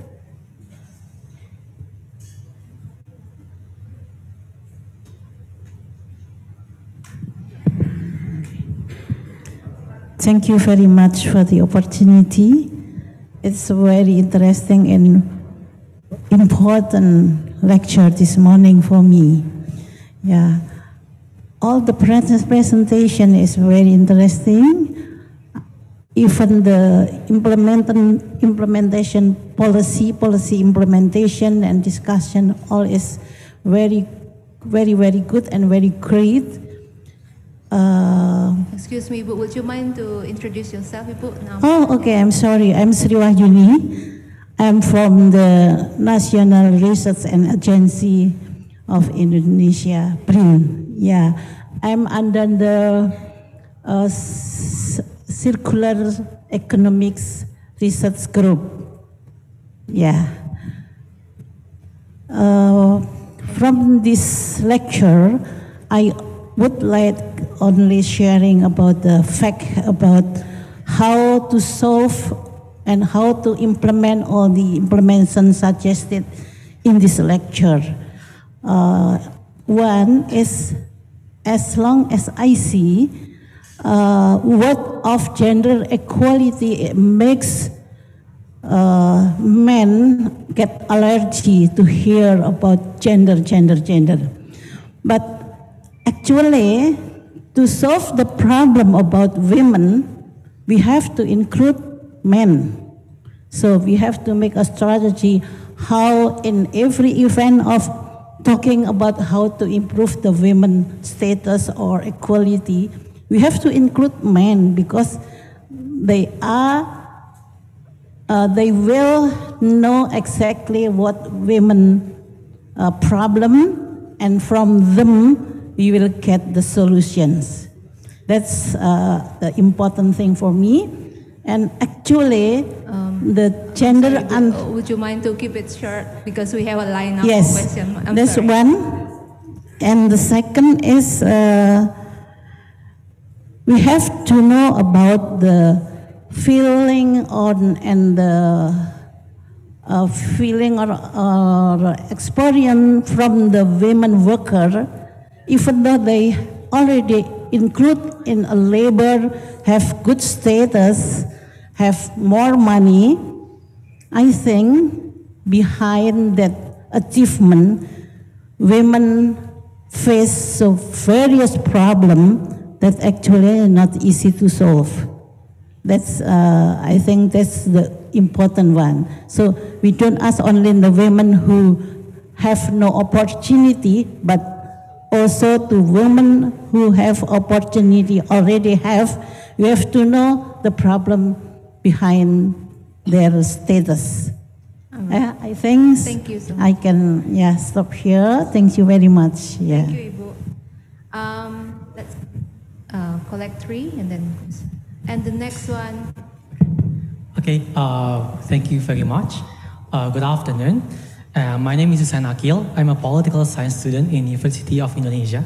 So, yeah, I'm currently conducting my thesis with the title Jacinda Ardern's Policy in Combating the Poverty in Marginalized Community in New Zealand. Case study Maori women on employment sector 2017 until 2023. And it's really related to the developments, uh, the context of the presentation, gender equality and development. And unfortunately, the presentation ha- hasn't given the context of marginalized women in Indonesia. So briefly, I would like to ask a question. Uh, how can we accelerate gender equality in Indonesia's development and also engage with women in marginalized communities? So because it's really important because Indonesia is a diverse country. Thank you very much. Thank you. And the last, sorry, the third one. Silakan. Okay. Uh, thank you for the opportunity. My name is Niken. I'm working in uh, non-governmental organizations related to health. Um, so now I will conducting the. Hi, I'm here. uh, I'm conducting the gender assessment in uh, One Health for students related to uh, women's students' uh, participation to our training, to health training. uh, health, health capacity building. Do you have any suggestion or uh, input uh, to analyze this assessment because this assessment will be implemented in Aceh and Papua to see the differences between the two areas that we will willing to see how the gender participation or gender mainstreaming in a university level uh, happens or uh, implemented for uh, women students. Thank you. Um, thank you so much. Um, so you got all the questions? Would you like to respond? I'm not sure that I got the third one. Um, maybe I'll, I'll, I'll um, address the first two and then come back to the third. Um, uh, oh yeah, I, I, um, I very much agree with the statement that it's, it's necessary to include men. I, re- I think the conversation is really about households, about families, um, rather than about women in isolation. Um, I think in a country like Australia, where I'm from and was born, uh, you, we have high levels of um, female labour force participation, and so we've kind of made some gains in some respect, but we haven't made gains in terms of the sharing of responsibilities between husbands and wives. And so I think that's really where the focus needs to be um, in countries like Australia and, and really everywhere, in that men so now women have a right to maternity leave. It's quite common to work part time. Um, but for men, it's actually difficult. So if, if you're working part time, um, then it would be very handy when you're working. Your partner could work part time. But it, it's it's although it's possible for men to work part time. Say at the University of Melbourne, where I work, you can just tick a box at the end of the year saying you want to go part time. Like that's it. it's very easy. But nobody does it. Very few people, very few women do it, and um, I don't know any men who have ever done it. Um, and so, social norms around men's role are hugely important in in this um, area of um, in, in, these issues of gender equality. Um, and interestingly, when we asked in our online survey, when we asked um, uh, men men and women actually, about what they'd be concerned about if their their wife worked, if the, if the mother worked. It was all about men's capacity to financially provide for their family. That's what it all came down to, which is so interesting because it's it's well, it's obviously related, but even the questions about shared childcare, you know, if you were to share childcare, what would you be concerned about? And it would be women were concerned that other people would think that their husband couldn't financially support the family and men were concerned about the same thing. So that's really around so that suggests that you know a reason that women aren't working or not working um, to the extent that they might like to is around social norms around men's behaviour um, as much as social norms around women's behaviour um, so I think that's an interesting area for future research. Um, oh yes, so how to how to think about gender equality and um, engage in with communities, marginalised communities. I agree that the um, the issues are are different for different for different groups in society. And in marginalised communities or communities where people have very low incomes, then labour force participation, for example, is not going to be an issue because people have to work to survive. Um, how best to engage with marginalised communities? That's not something that I feel like I'm in. A, you know, I have the the, you know, that I have much to say on. I don't. I'm don't. I think that's for people in like you know with your work that'd be very interesting um, and people in, in Indonesia who know the know the um, the communities and the situation much better than I do to comment. Um, but uh, it is true that that you know it's not a one size fits all uh, solution. Uh, but I think if you're, and, and I guess social norms differ across different areas and across different groups too. And so messaging um, to change social norms is likely to be more effective if it's targeted uh, to particular groups. But I do think that just a kind of nationwide campaign talking about the extent of support for women working could be quite effective as a kind of first pass. Yeah. And um, then the question about um, so the research on Aceh and Papua. Did you get? I, I didn't quite hear.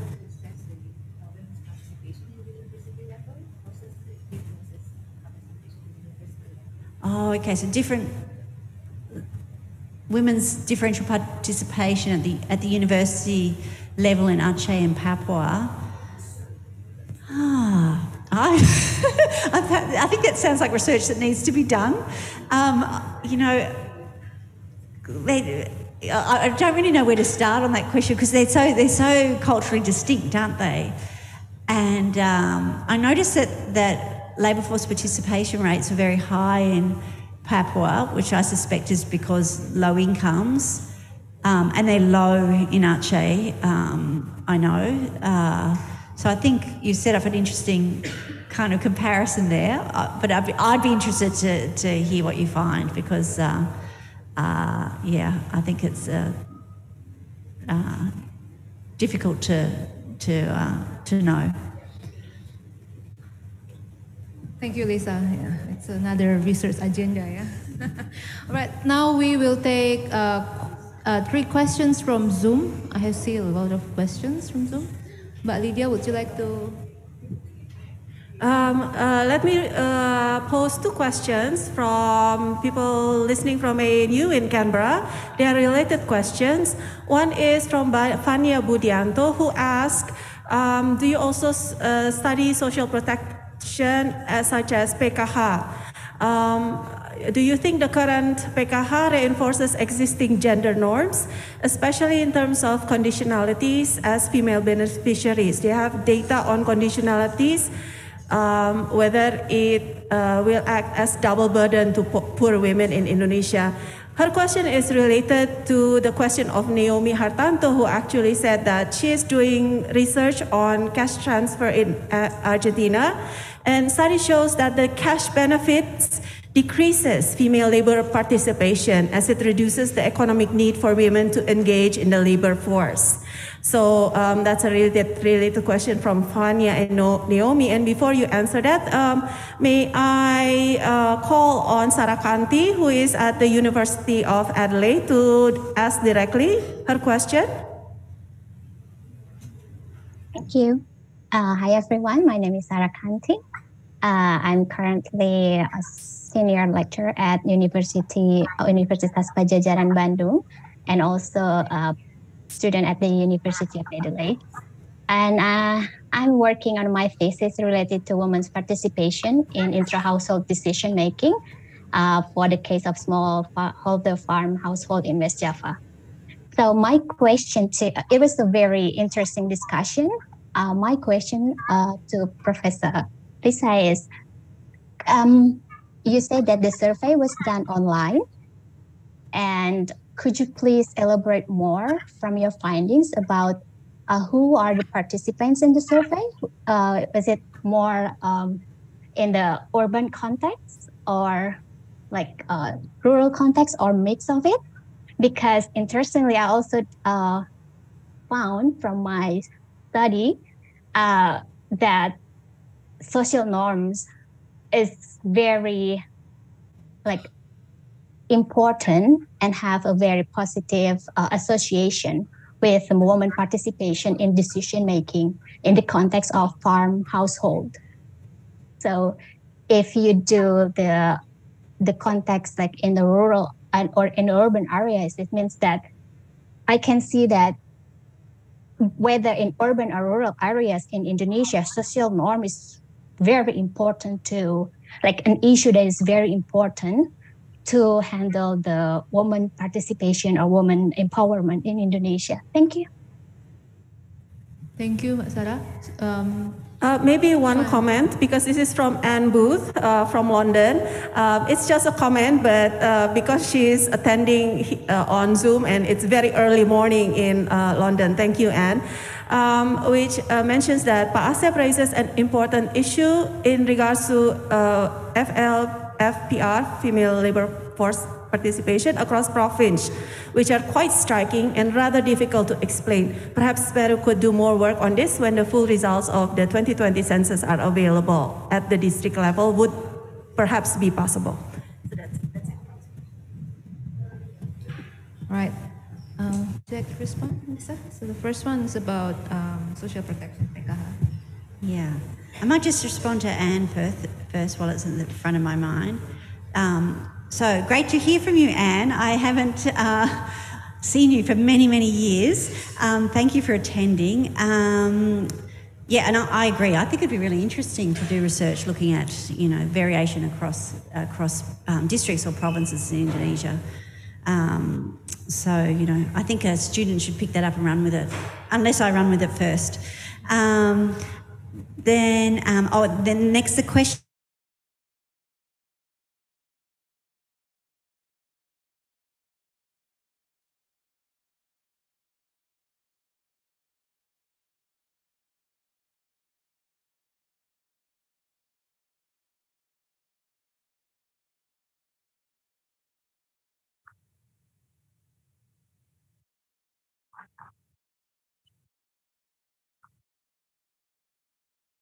Yeah, Mbak Heng, Mbak Heng. Um, so, um, so I think that's, I think in some sense, probably um, social norms in urban areas might be less entrenched than in rural areas. I don't know if people have views on that. So I wouldn't, it wouldn't surprise me at all if in rural areas you'd get you could possibly get quite different results. I guess I see this study as looking at um, kind of uh, low hanging fruit, you know, and so where where where might it be? First of all, where might it be easiest to run an online survey, given it was during COVID? Um, secondly, um, uh, you know, where where might you have the most purchase in terms of being able to change attitudes? Um, and I saw also that there was a comment on the chat that flashed up from Susan Olivia um, asking about the online survey and response rates. And um, so we used a Qualtrics panel, which, um, so Qualtrics has a panel of people, and actually they recruited more people for us. Uh, and so they just then send out invitations to participate in a survey. And we did have people, I don't know if you remember, the exact numbers, Ruri, because I don't. But we did have people, you know, not completing the whole survey, um, and um, but but they're replaced, right? So we said we want a sample size of this size, and so they they end up replacing those numbers. So it's actually kind of we have thought about trying to do something on attrition, but it's a little bit difficult to know how to examine that where you you're replacing people and you don't know which observations are the kind of replacement observations. Um, then there's a question about PKH um, and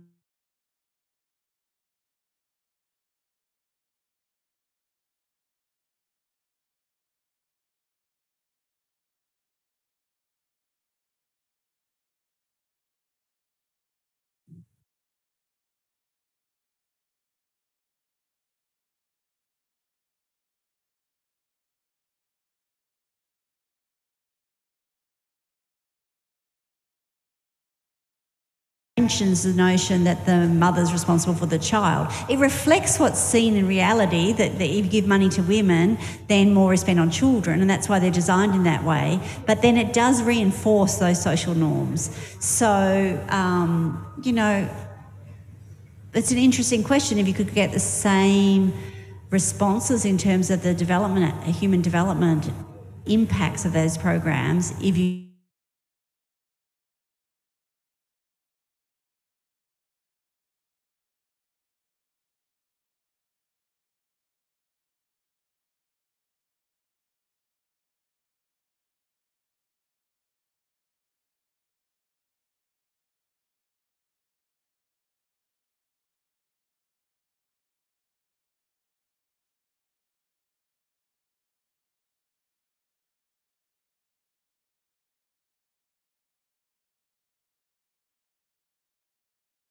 studies find that that's not the case.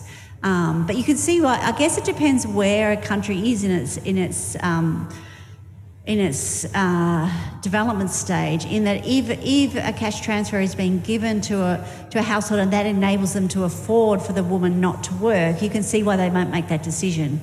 So um, so that's interesting. But I, I, to the best of my knowledge, I don't think that's a widespread um, phenomenon. Um, I would also like to invite Pa Asep and Nikki. Um, I know that SMERU has extensive research around, you know, social protection PKH. Would you like to share uh, your thoughts about, you know, whether like PKH is actually reinforcing gender norms? And maybe we, Nikki can also provide a comment.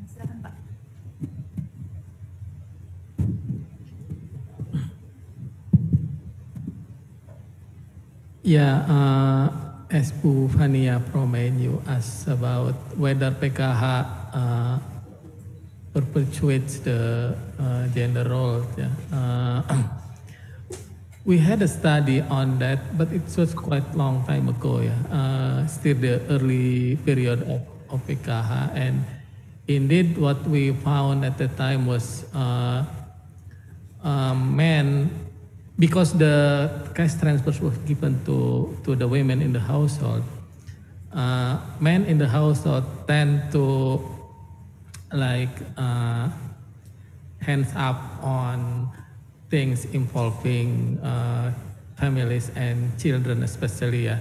So for example, when when the when there is a there's a time to register children to school, for example, uh, men would say that you are the one who received the money, so you who are responsible for registering the uh, children to, to the school.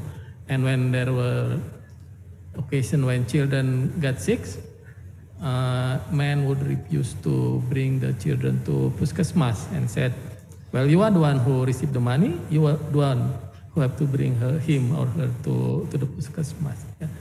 Uh, but since this was uh, at the time the PKH was still at very early stage, and there have been some changes yeah, in the PKH, especially with the involvement with more facilitator, yeah, pendamping, uh, whether this uh, will actually improve the situation or not. I think uh, a newer research is needed in this area. Thank you.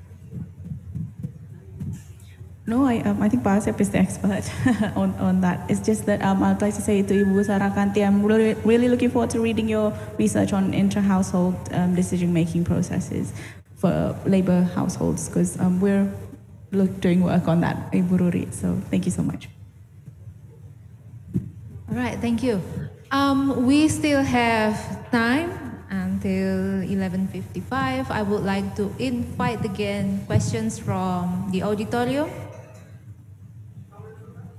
All right, I see two, sorry, three. Sorry, we have three. So the first one is Jasmine, Dika, and lady on the my side. So we, uh, first Jasmine, silakan.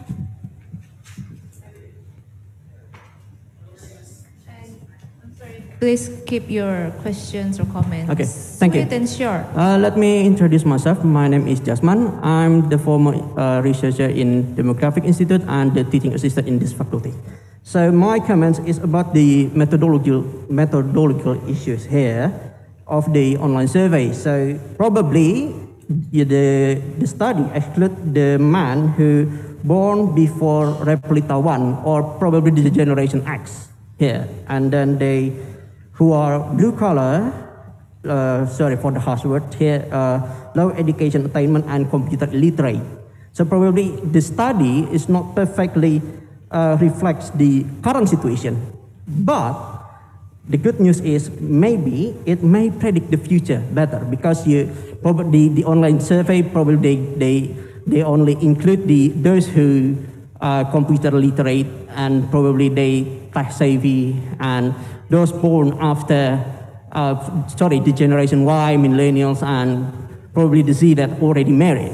So maybe the, the study may predict the future better. That's from a methodological issue. Thank you. Thank you, Jasmine. Uh, Dika, please. Uh, thank you, Maguri, for the opportunity, and uh, it's great to see you again, Lisa. Uh, I'm, I'm very uh, enjoying the lecture and I learn a lot.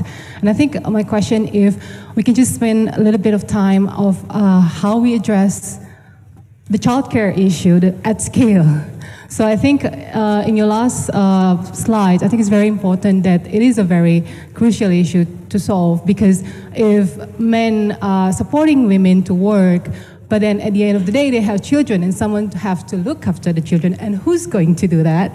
And to what extent, uh, when looking at uh, Pak Asep's presentations, how labor force participation for women differ across provinces, is there something that we can learn from Bali? What's going on there? Is it because extended family really offer a lot of help? Uh, in uh, looking after children, especially before they go to school? And is there anything like an idea where it can be implemented in Indonesia at scale? Thank you. Rika and Okay, uh, thank you for the opportunity. So my name is Lita. I'm a student from economics major batch 2020. So my question is, uh, as we have seen, we see that how the social norms are still putting women as the one who take care of the child and family, and putting men as the wage earners. And lately, Indonesia is considered as the third fatherless is the world as the world's third fatherless country that is driven by the norms as well. Sorry, uh, can you put the microphone a little bit closer? Uh, okay. So, yeah, uh, lately Indonesia is considered as the world third fatherless country, and it was driven by the norms that putting men as the wage earner and women as the uh, uh, as the one who is responsible to take care of the family and the child. So uh, my question is, uh, beside of increasing the opportunities for women to do work while making them to be able to take childcare responsibilities, is there any kind of uh, policies that can be implemented to increase the men's role in childcare in the household while still doing their role as a wage earner? Thank you. Thank you. I think that's uh, linked to the first question about involving men in the policy. Um, Lisa, would you like to respond? And then I will invite again Nikki and Pak Asep.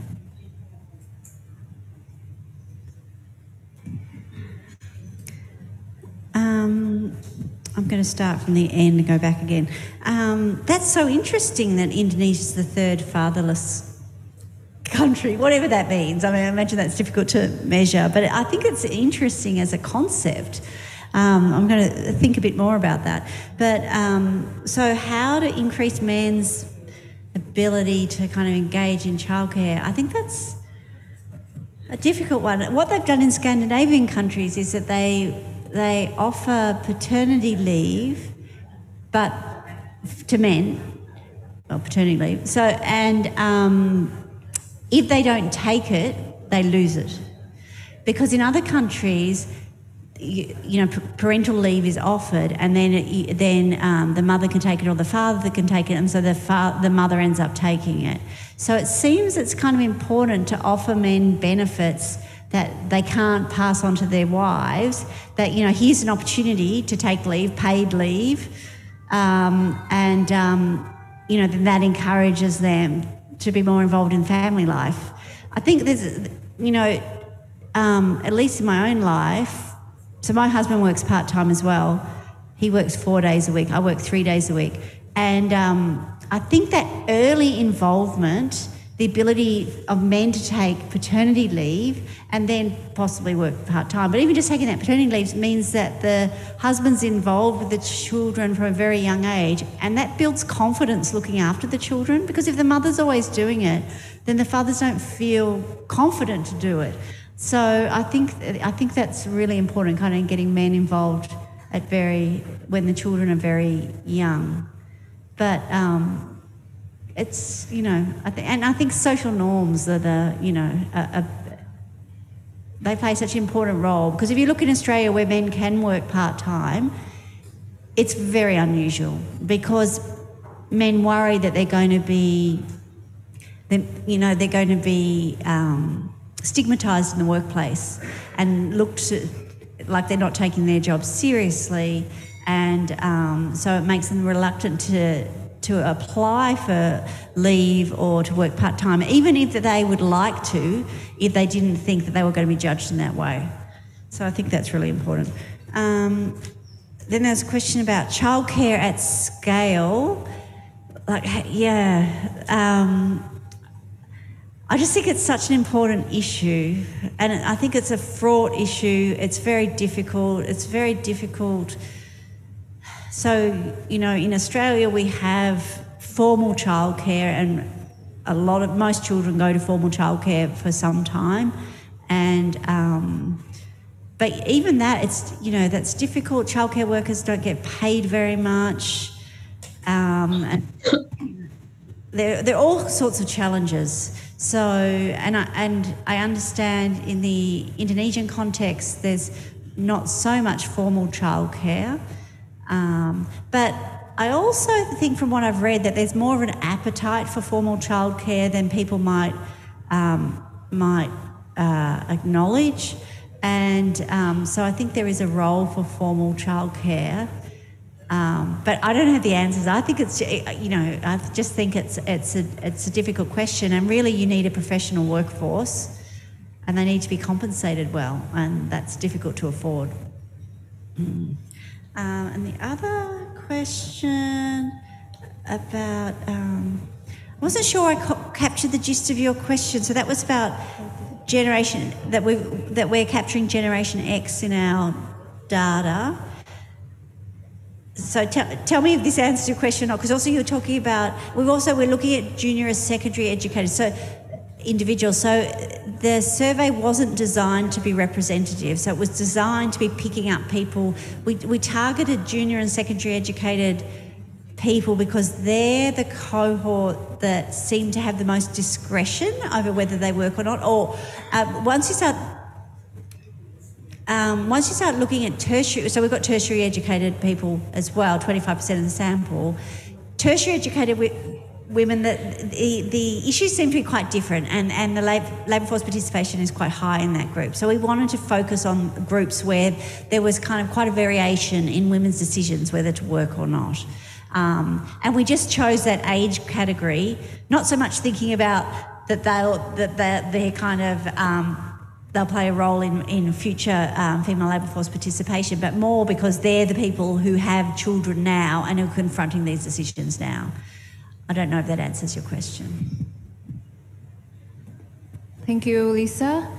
Um, I think in uh, for the childcare issues, I think like questions from Dika about the childcare, of what kind of best, best practices you know can be implemented in Indonesia, and also uh, policy for men, you know, to increase their you know participation in care I think we can, I, would like to invite Nikki and Pa Asep, perhaps from your research or maybe from personal perspective, you would have, I mean, you have uh, some insights about, you know, what kind of policies that can address this issue. Please. Thank you, um, Professor Lisa and Ibu Ruri and Mbak Dika and everyone with the questions. Um, and Mbak Dika pointed out that Bali had highest um, labor force participation. I'm Balinese, so just looking at my own community, in Bali, women do the work. But then it sort of highlights my earlier point with regards to um, it's, of course, really great for women to participate within the labor force, but it shouldn't be like an end. Um, we should also be thinking about if women participate, who carries the burden of care? In Bali, women work and cares for children. So, so it should be women participation and like um, how the burden of care is um, then distributed within the household, which co- uh, comes back to that intra-household um, process and discovering what's happening within the household. So, so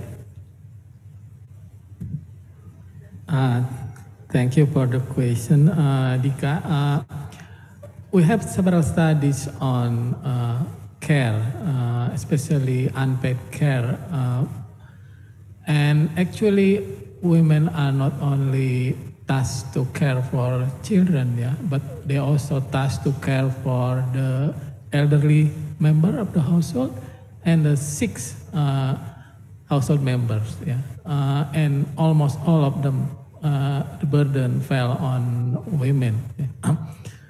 Uh, but of course, uh, children is one of the most uh, important one. Uh, and I think in several uh, our research location, especially among the poorest uh, member of the society, we find that there are some kind of community-based uh, child or other kind of care which are developed by, by the community uh, to help with this issue because like what uh, Nikki said that in most cases women have to work and have to do the care yeah.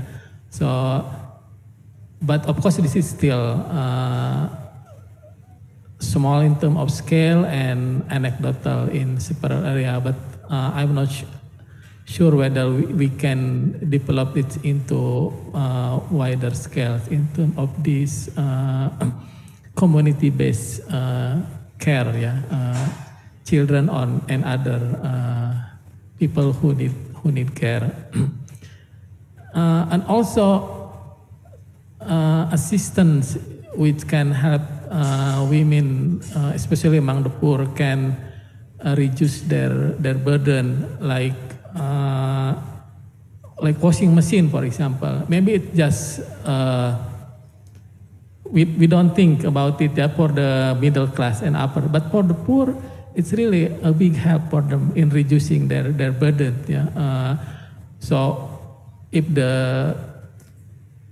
uh, cost of owning uh, washing machine is too, ex too, too expensive for one household, it can be developed into a community-based uh, washing machine, for example. People take turn using using the, the washing machine.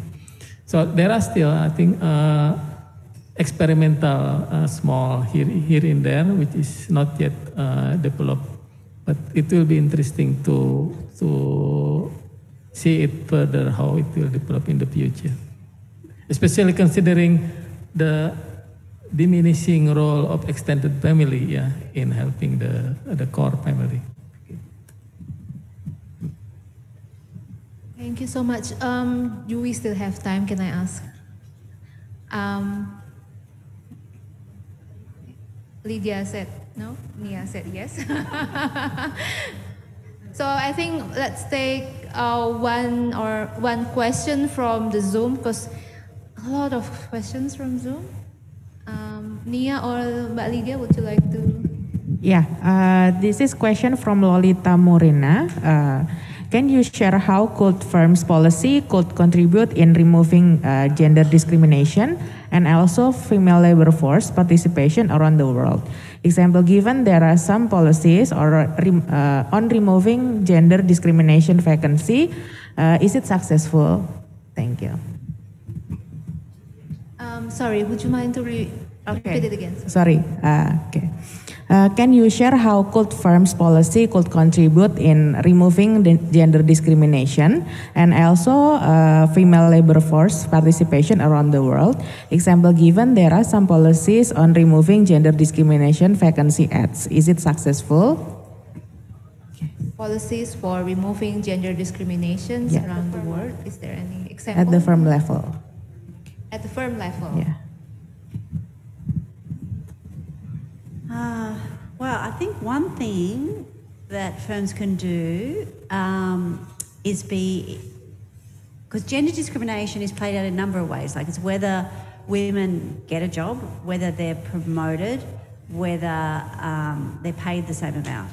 So in terms of the wage gap, it's very that should be an easy problem to, for firms to deal with, right? Just pay women the same as you pay men.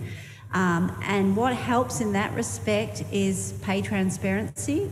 So if you um, if people know what other people are getting paid, which is you know can be quite sensitive, then it's very hard to get away with paying women less. Uh, and I was involved in that to some extent at the University of Melbourne, I, I was on our Equal Opportunity for Women in the Workplace uh, committee many years ago, and we got access to um, data on the salaries being paid by men and women. We're not individual men and women, um, and that was really effective in enabling us to argue for change. Another thing to do is to, in terms of wage inequality, um, if you have very transparent rules around, say, who gets bonuses and what you get a bonus for, then it's um, you're likely to end up with less gender inequality in wages um, if you apply those um, equitably across the workforce. So really, I think transparency goes quite some way, and then just having policies, um, particularly around maternity leave, I guess, um, that um, encourage women to, you know, when we found in our research that formal sector women tend to be dropping out of the workforce, a lot of the discussions we had around that reflected the fact that people didn't seem to think that was an issue, that there are a lot of women, um, you know, and so why would firms want to hold on to employees? Why, you know, they, they're happy for the employees to leave and then they just hire new young women. So, um, I well, I think research has shown that, that there there are often benefits to firms for holding on to staff. You don't have to retrain staff. Um, so there are probably benefits to the firm from doing that, and and the costs of trying to retain women are not are not very high. So having policies that um, you know enable women to come back after maternity leave, so take, you can take 12 months maternity leave, come back, and you're guaranteed a position at the same level doing the similar things. Those kind of policies are really effective in um, reducing gender equality, um, inequality.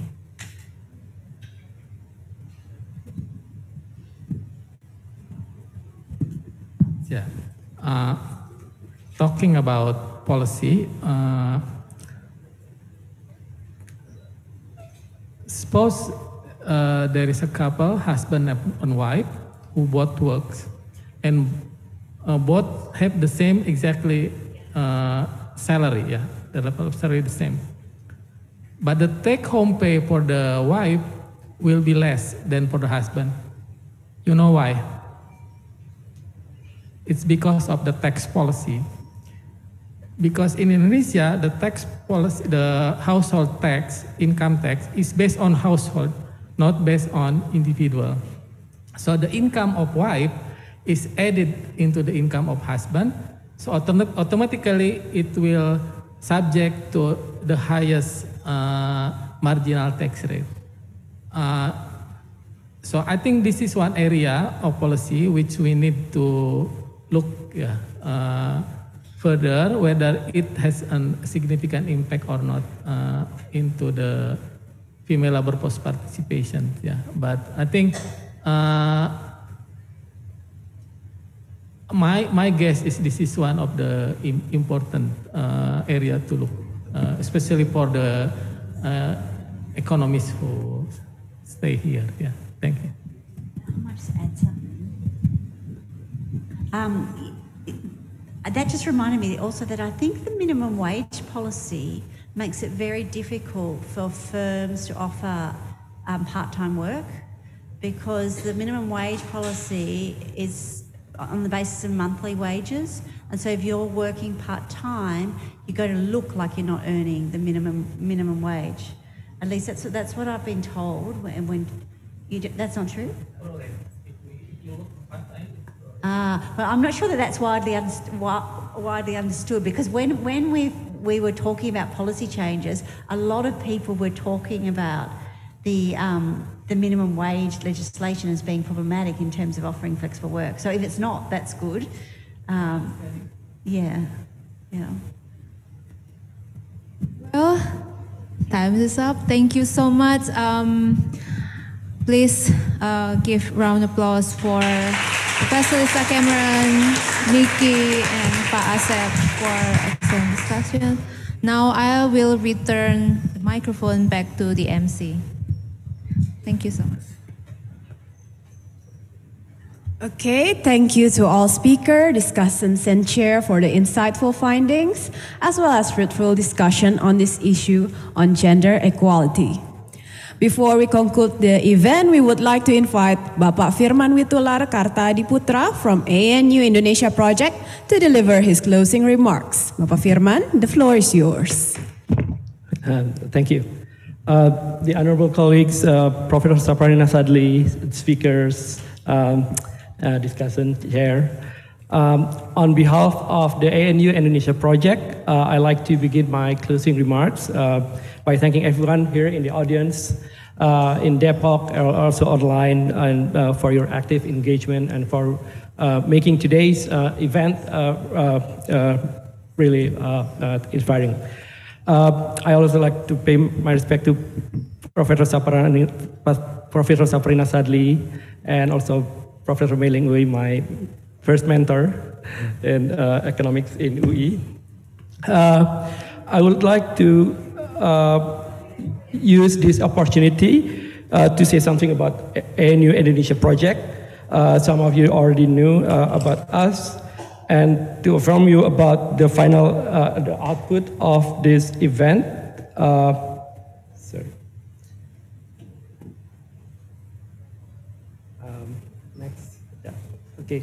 Uh, uh, of this uh, lecture and also an announcement of one of the, the, upcoming Indonesia Update conference. So Indonesia Project is um, a research center at NU that was established in 1965 with the primary objective to promote a stronger uh, uh, research-based policy uh, through the activities that we conduct as the academics, but also to the, to the activities that we as center uh, support and conduct. Uh, among the activities that that we conduct is is public lectures such as the Sadli lecture, and um, as I have been mentioned before, uh, the, uh, this is the 18th, uh, the 17th Sadli lecture. Uh, this is the 17th time ANU Indonesia project has co-hosted this lecture with uh, uh, LPEM, FEBUI, with FEUI. Um, and I would like to thank the LPEM, Bapak Chaikal, and also, of course, to Professor Saparinah Sadli and the family for their continuing collaboration. Um, it's clear from the Q&A and from the discussion today that today's theme and the theme of this new series, to honor Professor uh, Sadli, has been an issue that is close to everyone's hearts and everyone's minds. And in addition to, and in addition, it uh, looks like it's going to continue to be what looks like to be a very fertile ground of uh, research uh, uh, for many years. So this is uh, really terrific. And for that, I would like to thank everyone involved, Bu Mayling, who kicked off the event with this, uh, such a uh, touching remarks, um, uh, a lesson in history, uh, to Sadli lecture speakers, Lisa, Cameron, to also Geniki, Pak Asep, as a discussion, and really for the very excellent session. So this lecture and or the paper that uh, on which this lecture is based on will be published in the upcoming uh, BS uh, Bulletin of Indonesia Economic Studies. So I look forward. We look forward to seeing the paper in print, as I'm sure you all are uh, uh, also. Okay. Um, and then I'm going. The one other thing I want to uh, mention is the I would like to uh, use the opportunity to announce the upcoming Indonesia Update Conference. The 40th Indonesia Update uh, will be on September 15 to 16 this year, um, and it's going to take the theme of governing, governing urban Indonesia. The conveners will be uh, Ed Aspinall from ANU and Amalinda Savirani from UGM. Uh, so please start uh, booking your tickets and perhaps secure your visa uh, to be there in time.